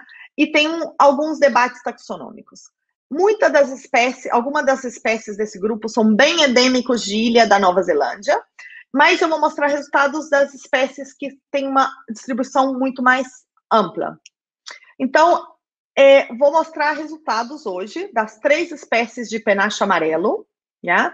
É, em inglês é, são rockhopper penguins, é, os penachos amarelos então, tem um debate taxonômico, se são duas espécies, a do norte e uma do sul, ou se são três espécies, tá? A do norte tá se encontra nessas duas ilhas ao norte da frente subtropical, que está marcada aqui. E essas duas espécies, a do sul está encontrada na América do Sul, e a do, do leste está encontrado aqui nas ilhas Crosset, Mário, Kerguelen, na ilha Maquaia. Né? E a, aí é, tem um debate grande sobre essas duas espécies. Alguns autores acreditavam que essas duas eram só uma espécie. Aqui eu separei elas para mostrar a distribuição. E essas duas espécies é o pinguim macaroni, que está aqui em Antártica, ao sul da frente polar Antártica, e ao norte, nessas ilhas Crosset, Mário, Kerguelen. E o pinguim royal, que a diferença principal é a cara branca, que está encontrada aqui na ilha Maquaia. Yeah? Então, Coté, Maria José, o apelido de Maria José em espanhol se diz Coté. É, Coté, ela começou a estudar primeiro é, o DNA mitocondrial dessas espécies, tá? Coletamos amostras em toda a distribuição é, dessa espécie, em todas essas localidades, e reconstruímos aí a árvore filogenética da, com DNA mitocondrial dessas espécies, também calculamos tempo de divergência, e o que vimos aqui é que para penacho amarelo, realmente tem três clados bem diferenciados. O do norte, que até podem ver alguma coisa de diferença aqui também dos dois subclados das duas ilhas que estão aqui, tá? É, perdão, aí apareceu aí instalando o programa. É, então, a do norte, com os dois subclados, o do, do, do sul, da América do Sul, e o do leste, encontrado aqui. Yeah? Então, é, esses primeiros resultados, fizemos análise de limitação de espécie, apoio, apoiava essas duas espécies, essas três espécies, perdão. E, por outro lado, quando vimos Macaroni e Royal, não vimos nenhuma separação entre as localidades e tampouco entre as duas espécies. O que foi bem surpreendente, certo? Então, com Coté foi estudar mais em detalhe com dados genômicos essas duas espécies. E ela publicou também ano passado esse trabalho, esse publicamos em 2018 e depois ela publicou esse em 2019, que estudou aí dados de novo de DDRAD, de SNPs nos genomas, né? E ela é, vimos primeiro aqui temos esse de APC, que é parecido aí com o PCA, Cada cor aqui estão as diferentes cores das localidades de Macaroni, em amarelo, el Royal, né? E vimos aqui de novo que o Royal não tem uma separação grande genética das, das outras localidades, já? tem uma sobreposição aqui com os, os macarones de Kerguelen, já? que está por aqui. E vimos sim que tem uma separação importante ao norte e ao sul da frente polar. Já? E é, é, não é tão grande, mas tem essa diferenciação. E os análises structure com esses NIPs também mostraram a mesma coisa, uma separação aqui das colônias que estão aqui, é, mostrar aqui no mapa melhor, essas colônias aqui que está ao sul, das do norte da frente polar, já? Incluindo aqui da, obviamente, Maquaia é, Pinguino Royal, já? Então, de novo, esses resultados mostraram aí que não tem uma diferença grande genética entre é, o Royal, se ela não tem um suporte para que seja uma espécie diferenciada, né? Pero há uma separação é, de estrutura populacional leve entre o norte e o sul da frente polar. Bom, é, e aí queríamos ver se realmente é, essa diferenciação genética tem que ver por, pela distância geográfica das, das colônias, se tinha um padrão, padrão aí de isolamento por distância, ou seja, maior distância genética, maior distância geográfica, maior distância genética, ou se era um padrão aí de, de isolamento por pelo ambiente, certo? Esse era determinado por diferenças do ambiente, como a temperatura superficial da água. Então, assim, queríamos ver um padrão aí em inglês, a isolation by distance ou a isolation by environment. Então, vimos aqui com distância genética e distância geográfica, tem uma correlação aí significativa, mas também quando vimos com isolamento por temperatura de, da água, tirando aí dados ambientais, vimos que também há um, um fator ambiental, e o modelo que mais se ajustava era um fator de ambos, principalmente geográfico, isolamento por, por distância, mas também ambiental. Yeah? Então, aí um fator da, importante aí do, da, da frente polar. Bom, depois, é, Coteita, esse trabalho está abaixo revisão, ela foi estudar com dados genômicos as três espécies aí de penacho amarelo. E é, os dados de SNPs, de novo, mostram um alto apoio às três aí, é, espécies diferentes do argentino. Coté também é uma aluna de doutorado. Ele foi estudar aí as colônias aqui de, da Argentina, das Ilhas Malvinas ou Falklands, e do, Chi, do Chile e da Argentina. É, e ele viu, é, é, estudou com dados de novo de Didirad, é, essa colônia aqui era uma colônia nova, recém-formada, então se queria ver a origem dessas colônias também. E, de novo, vimos aí dois grupos genéticos dentro, certo? Uma estrutura populacional, é separado aí pela Ilha Malvinas no continente. Aqui sabemos que tem correntes aí oceânicas que ajudam é, no isolamento. E viu também que essa colônia é relacionada com as de Malvinas e provavelmente são indivíduos que vieram de Malvinas. E ele também estudou isótopos estáveis para ver aí a diferenciação ecológica entre as colônias. E viu aí que os de Malvinas são mais generalistas e tem aí diferença, certo? Os, os, os do continente são mais especialistas. Bom, é, o último resultado de pinguim que eu vou mostrar é, são do, de uma espécie que é uma das minhas favoritas, porque eu trabalhei muito com essa espécie diretamente, que é o pinguim papua, tá? É, sempre falavam que tinha uma espécie, e talvez duas subespécies, uma da Antártica e outra da toda a região subantártica, yeah? é, e a gente estudou primeiro o DNA mitocondrial, em toda essa distribuição é, da espécie, yeah? é, e vimos que tem vários grupos genéticos bem diferenciados. Yeah? Um da Antártica, e divergentes há 4 milhões de anos. Ou seja, um da Antártica, yeah? um da, da América do Sul, um das ilhas, aqui separado pela frente polar, de novo, um das ilhas Crosset e Marion, e outro da grupo da ilha Kerguelen, de novo aqui a frente polar atuando, aí a frente polar move um pouco, às vezes está ao norte, às vezes ao sul da, de Kerguelen, e outro aí de Maquaia. Já? Então, vimos diferentes grupos genéticos e os, eh, os programas de delimitação de espécie apoiavam esses cinco espécies. E aí, depois a gente foi estudar dados de SNPs também, dados é, genômicos, certo? Variações, e não tivemos amostra de macuaia, porque eram amostras de fezes, então não, não, não é possível para fazer um análise genômico completo, mas os dados de SNPs, de novo, nos mostravam esses mesmos quatro grupos genéticos diferenciados, que nós propusemos que sejam quatro subespécies diferentes, agora é autores que dizem que deveriam ser espécies diferentes, e é, potencialmente cinco. Bom, e aí é, fomos é, estudar é, é, se tem, tinha diferença de nicho marinho e terrestre para esses, esses clados diferenciados, essas subespécies diferenciadas. É, e aí, com, com Luiz Perterra, é, Nicolás Segovia e Dali, Luiz principalmente trabalha com modelos de nicho, vimos aí é, várias coisas interessantes. Vimos aí áreas, por exemplo, na ilha Kerguelen, que é a área mais apta para a espécie é o norte da ilha. Vimos várias coisas interessantes. Mas uma coisa interessante que vimos é que o grupo, o primeiro grupo a divergir, ou seja, de onde que potencialmente se divergiu mais é, é, basal dos pinguins, foi na ilha Crocette Marion, yeah?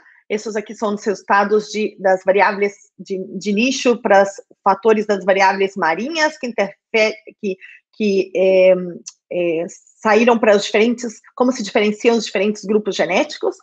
E vimos então que o grupo aí de Crosset Marion, os pinguins, a partir daí, tiveram que colonizar áreas mais frias nesse eixo, mas ganharam nesse eixo em produtividade primária, em alimento. E, por outro lado, outros grupos colonizaram águas mais cálidas e ganharam ainda mais em produtividade primária, em alimento. Yeah? É, então, e, mostra, e vimos que não tem similitude genética entre nicho marino ou terrestre para quase todas essas combinações desses clados. E vimos aí, quando analisamos aí os fatores, as variáveis ambientais com os dados genéticos, vimos aí que tem uma, uma relação significativa e que a mais a variáveis mais importantes é a produtividade binária e está relacionada de novo aí com o grupo genético da América do Sul. E de novo, vimos aí, quisemos ver se tem um padrão de isolamento por distância, de isolamento por, pelo ambiente, é, e vimos que tem, tinha os dois, padrão de isolamento por distância e isolamento por ambiente. E a combinação dos dois era o modelo que mais se ajustava.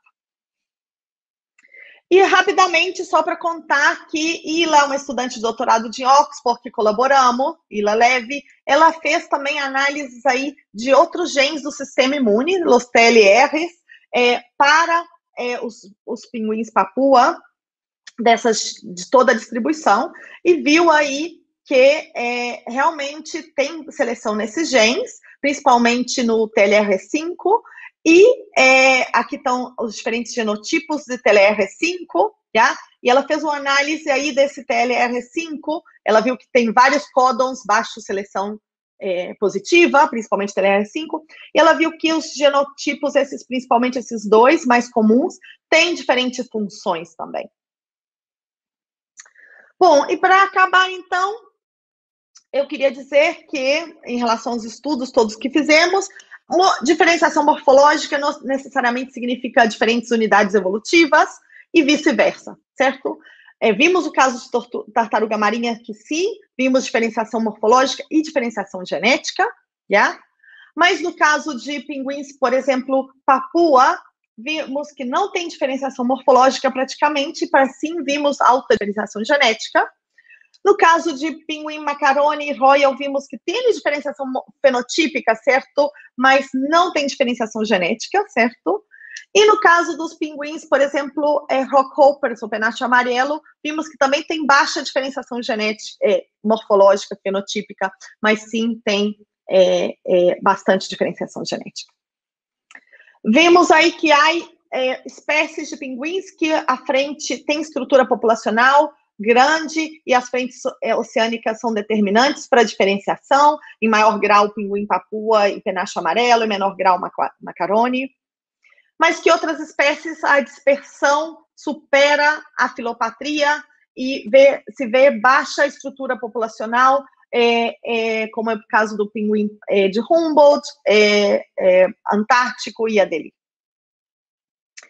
E há implicâncias importantes para a conservação em tudo isso. Né? É, por exemplo, pinguim Adelie é, e Antártico, na Península Antártica, que tem alto impacto aí do aumento de temperatura devido à mudança climática. É, essas duas espécies estão diminui diminuindo em tamanho populacional. Agora tem uns estudos mais recentes que mostram um decréscimo importante para as duas.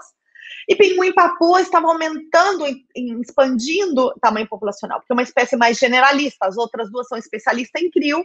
Crio está desaparecendo e elas estão diminuindo. Mas o papu é mais generalista em dieta. Come o que está aí. Então, estava aumentando e expandindo. Então, havia uma preocupação menor com pinguim papua. Mas hoje vimos que são diferentes subespécies, possivelmente diferentes espécies. E aqui está, as diferentes cores são as diferentes espécies ou subespécies.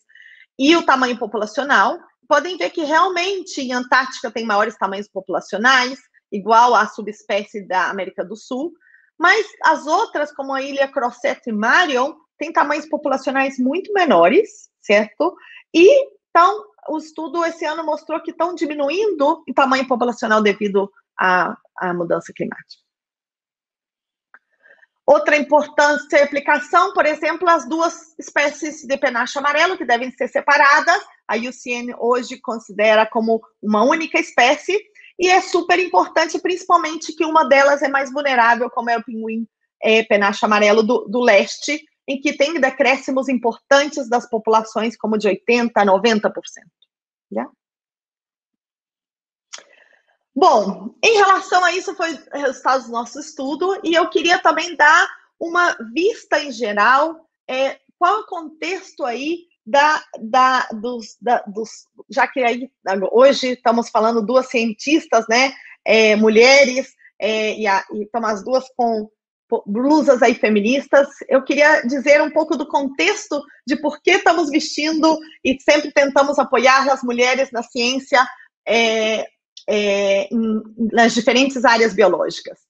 É, bom, esses são alguns estudos que mostram, por exemplo, é, autorias em diferentes países da América Latina de é, na área de ecologia e zoologia. Esse é um trabalho publicado em 2019 em diferentes países. Aqui eu circulei Brasil e o Chile, já?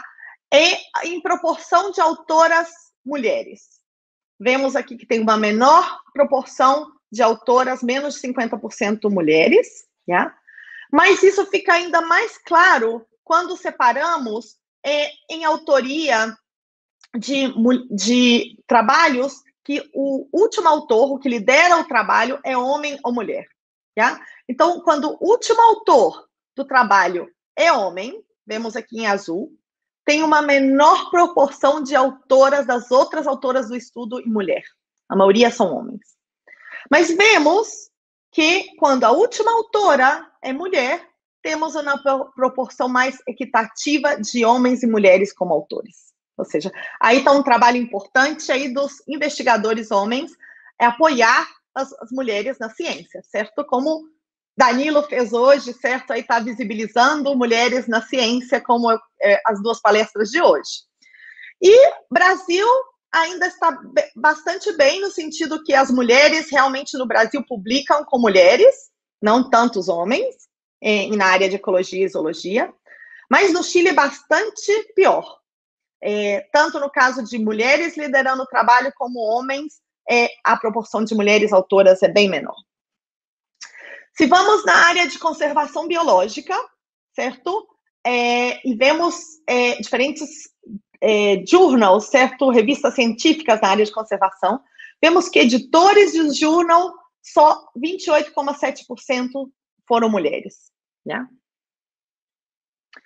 Bom, e se levamos ao contexto da pandemia, sabemos que é, as mulheres têm dedicado menos tempo à ciência, mais é, a, a casa ou a família, e, por exemplo, mulheres que têm filhos de menos de 5 anos reduzido su, su, su, su tempo dedicado à pesquisa em 17%. E tem vários estudos que mostram que as mulheres diminuíram a submissão de papers e os homens aumentaram. Ou seja, também tem aí importante o papel, certo, compartilhado na casa de pesquisadores e pesquisadoras. E quando vemos, por exemplo, na categoria acadêmica, aqui são diferentes áreas, aqui é a área biológica, certo? É, os homens avançam na categoria de professores, certo? Assistente, associado e titular, e aumentam aí, chegam a titular, mas as mulheres não tanto, já? Como mostra aqui. E isso, por exemplo, é particularmente um dos principais é, projetos de pesquisa no Chile, são do projetos Fondesit, e tem uma área que é Biologia 1, que é a área de Ecologia e Evolução, já? E eu tomei os dados de projetos aceitos é, em geral é, nos diferentes anos de 2005 e 2018 e grafiquei, e vemos que 25,5% somente são é, aceitos para mulheres. Possivelmente porque as mulheres é, é, se perdem aí um pouco na, na carreira acadêmica e não chegam a ter cargos, possivelmente também por é, discriminação. E possivelmente isso é, também eu não tenho os dados de homens e mulheres que é, submeteram os trabalhos, mas possivelmente são menos mulheres que submetem também, porque quando vemos projetos de jovens investigadores e pós-doutorados, aí tem uma taxa de 40% de mulheres.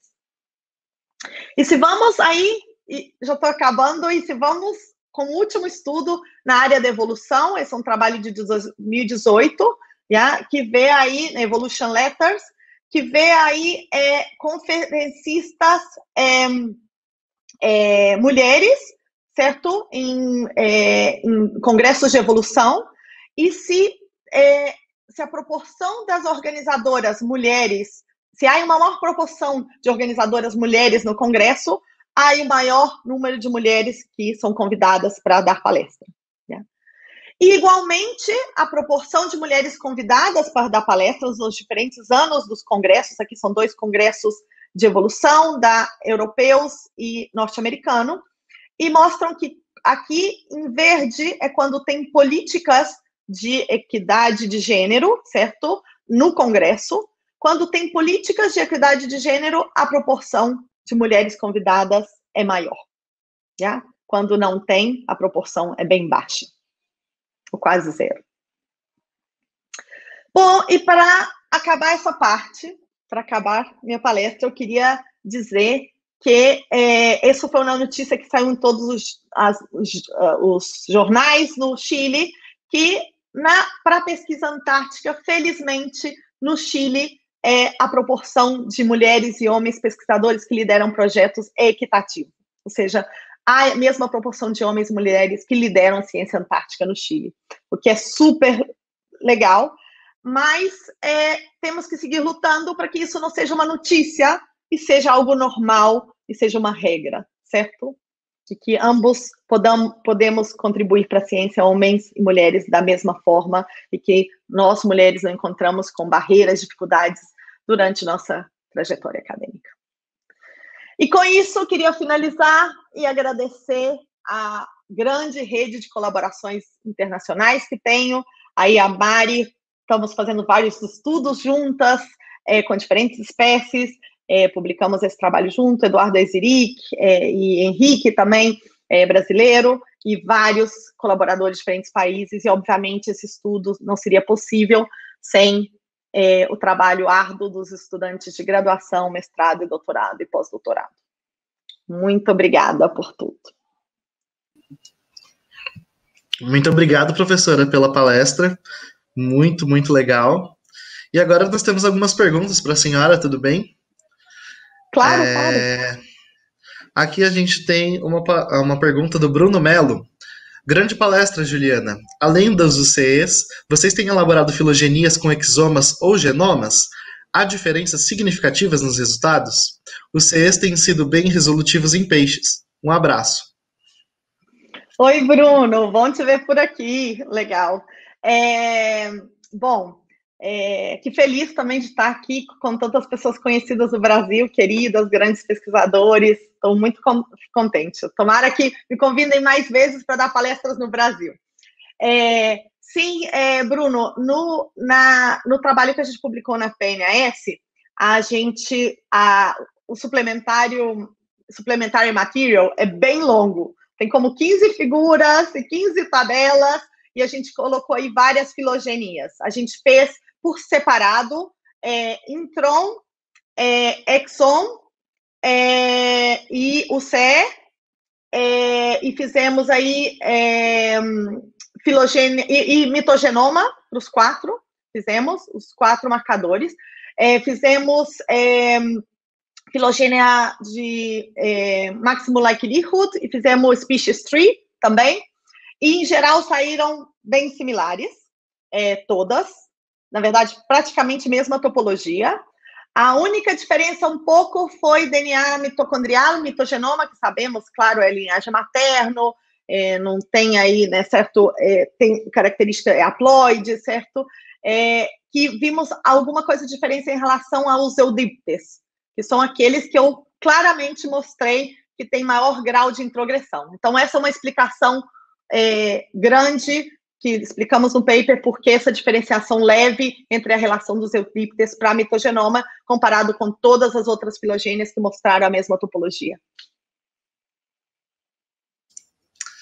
Beleza, professora. Aí temos a pergunta aqui também da Talita Leixo. Doutora Juliana, muito obrigada pela palestra. Os resultados das pesquisas são de extrema importância e direcionam medidas para a conservação de espécies. Há incentivo público para a conservação no Chile?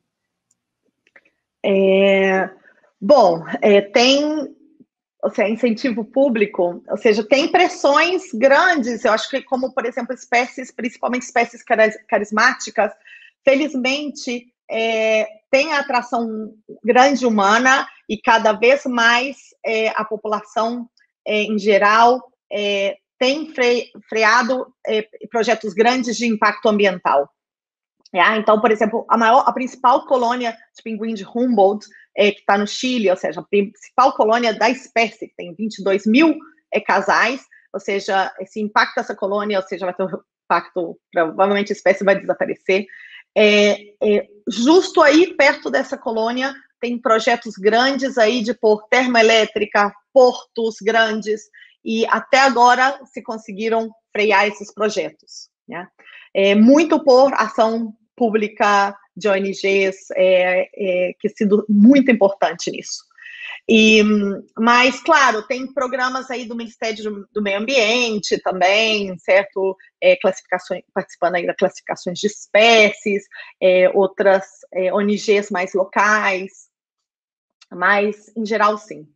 Certo? Infelizmente, algumas espécies têm grande atenção e, no fundo, funcionam também como é, umbrella species, certo? Aí a, essas áreas de colônias de pinguim de Humboldt são áreas protegidas e, afinal, é, é, contribui para a conservação de outras espécies também.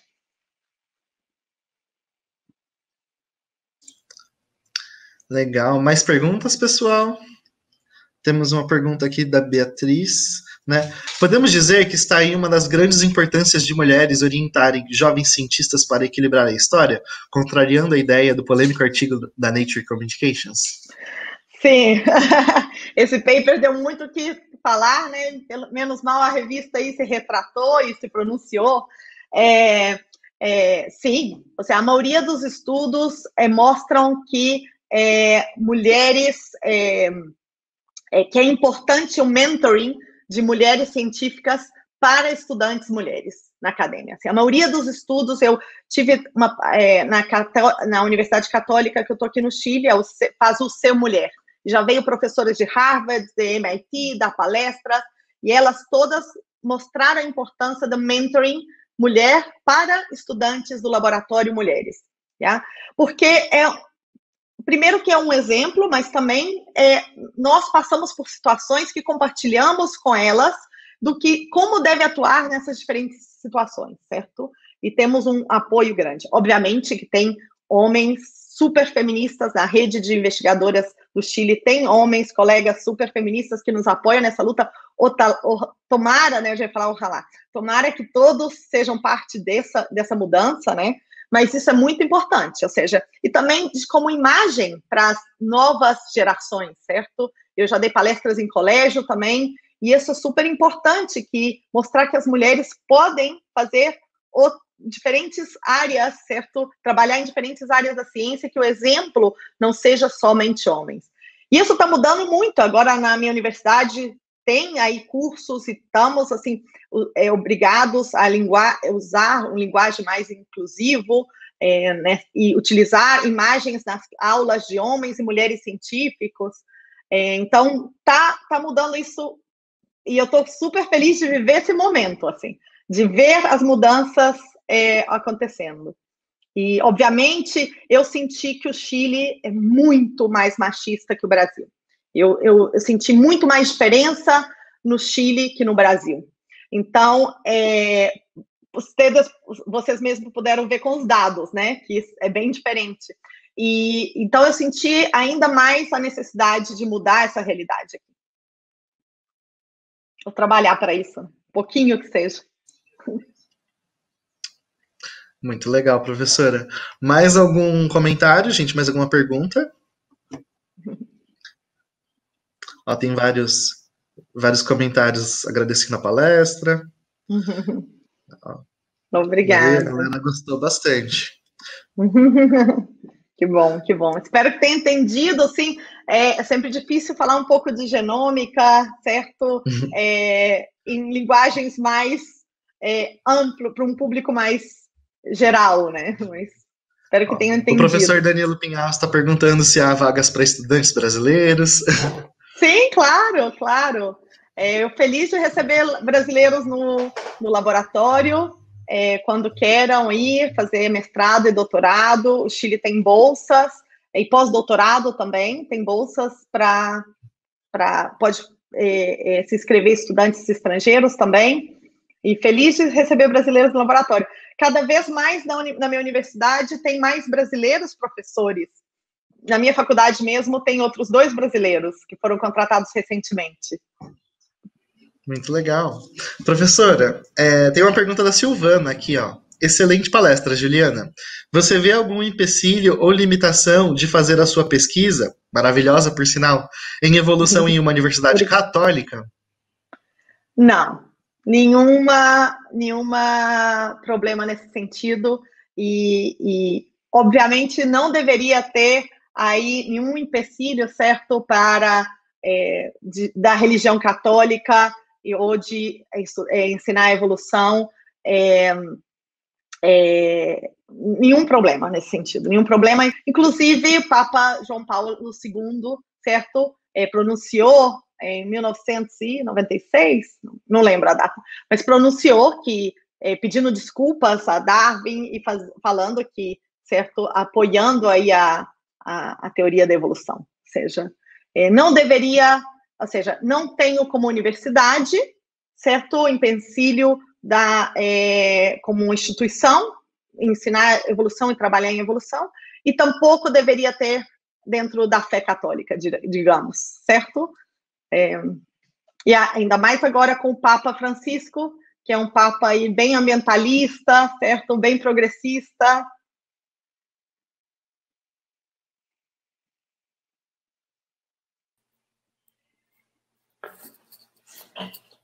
Aí a Mariana comentando. Estão me ouvindo?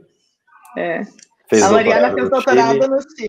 Recomendo, maravilha. É. é excelente. Eu Mariana é maravilhosa. Feliz de estar ela, aqui com ela, com o Danilo. Estou super contente. Maravilha. Eu que agradeço, Juliana, é, a tua participação. Excelente palestra, muito informativa, realmente. Muitos estudos, impressionante o volume de dados aí que vocês é, acumularam, né?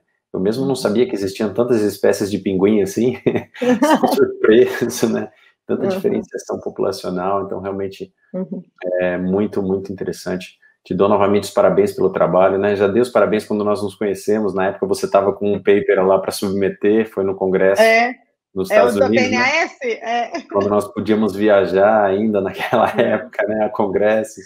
E, é. e, e, isso só mostra a sua competência e a, e a, capacidade que você tem como pesquisadora e também como uma excelente é. pessoa que, que eu conheci pessoalmente. Então, muito obrigado por, por participar, parabéns pela sua, pela sua luta aí, né, pelo seu trabalho, uhum. pelo esforço, né, uhum ajudando certamente a PUC hoje do Chile é a universidade número um, né, da América Latina, é isso? Me corrija? Uhum, sim, sim.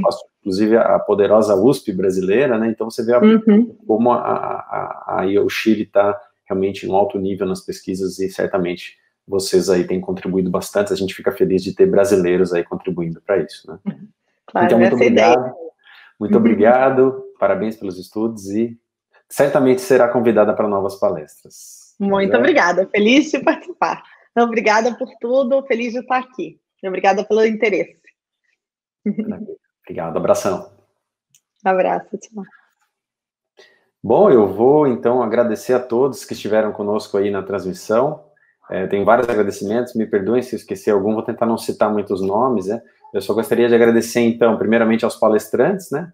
Aí, ao, ao, a Mariana Neri, excelente palestra, Mari, muito obrigado ao Fernando Fernandes pela disponibilidade, uma palestra incrível, e a Juliana também por esses dados fantásticos que ela apresentou, né, uma palestra com, mais científica, focada aí nos estudos em evolução, então o objetivo do evento é esse, a gente traz algumas é, palestras mais filosóficas, outras mais voltadas à área da educação, outras com um viés um pouco mais é, científico, especificamente no, conjunto de dados né, dos pesquisadores. Então, essa é a ideia do Darwin Day. É, vou agradecer, então, aqui, além também aos colegas da GDC, STAEP, é, Fundibio, fundamentais aí, ficaram no backstage, fundamentais para que o evento acontecesse. A diretoria do Instituto de Biociências também pelo apoio, né, que sempre nos apoia bastante, a coordenação de curso do, de, de Ciências Biológicas também, a pós-graduação em Genética, todos nos dão suporte para a realização do evento. Aos nossos patrocinadores também importantes, embora não tenhamos o evento presencial, né, para os estantes, quem sabe no ano que vem, ah, e aos membros da comissão organizadora, né, a Lúria, a Beatriz, a Natasha, a Érica, a Letícia, e aos membros da comissão de apoio também, o Felipe, a Jennifer, o Gabriel, o Rafael e a Talita, né? E como eu disse, quem sabe em 2021 tudo isso terá passado, né? E possamos aí ter o nosso Darwin Day presencialmente no Instituto de Biociências, mas claro que nós pretendemos manter essa, essa, esse canal virtual de comunicação que a gente possa alcançar mais pessoas aí em outros cantos que não sejam em Botucatu. Né? Então, peço a vocês que sigam aí nas nossas redes sociais, né? Instagram, Facebook, aí fiquem atentos aí para novidades, para os novos comunicados aí sobre o próximo evento, o próximo Darwin Day 2021, tá ok? Então, agradeço a todos, excelente semana e é isso, se cuidem. Grande abraço.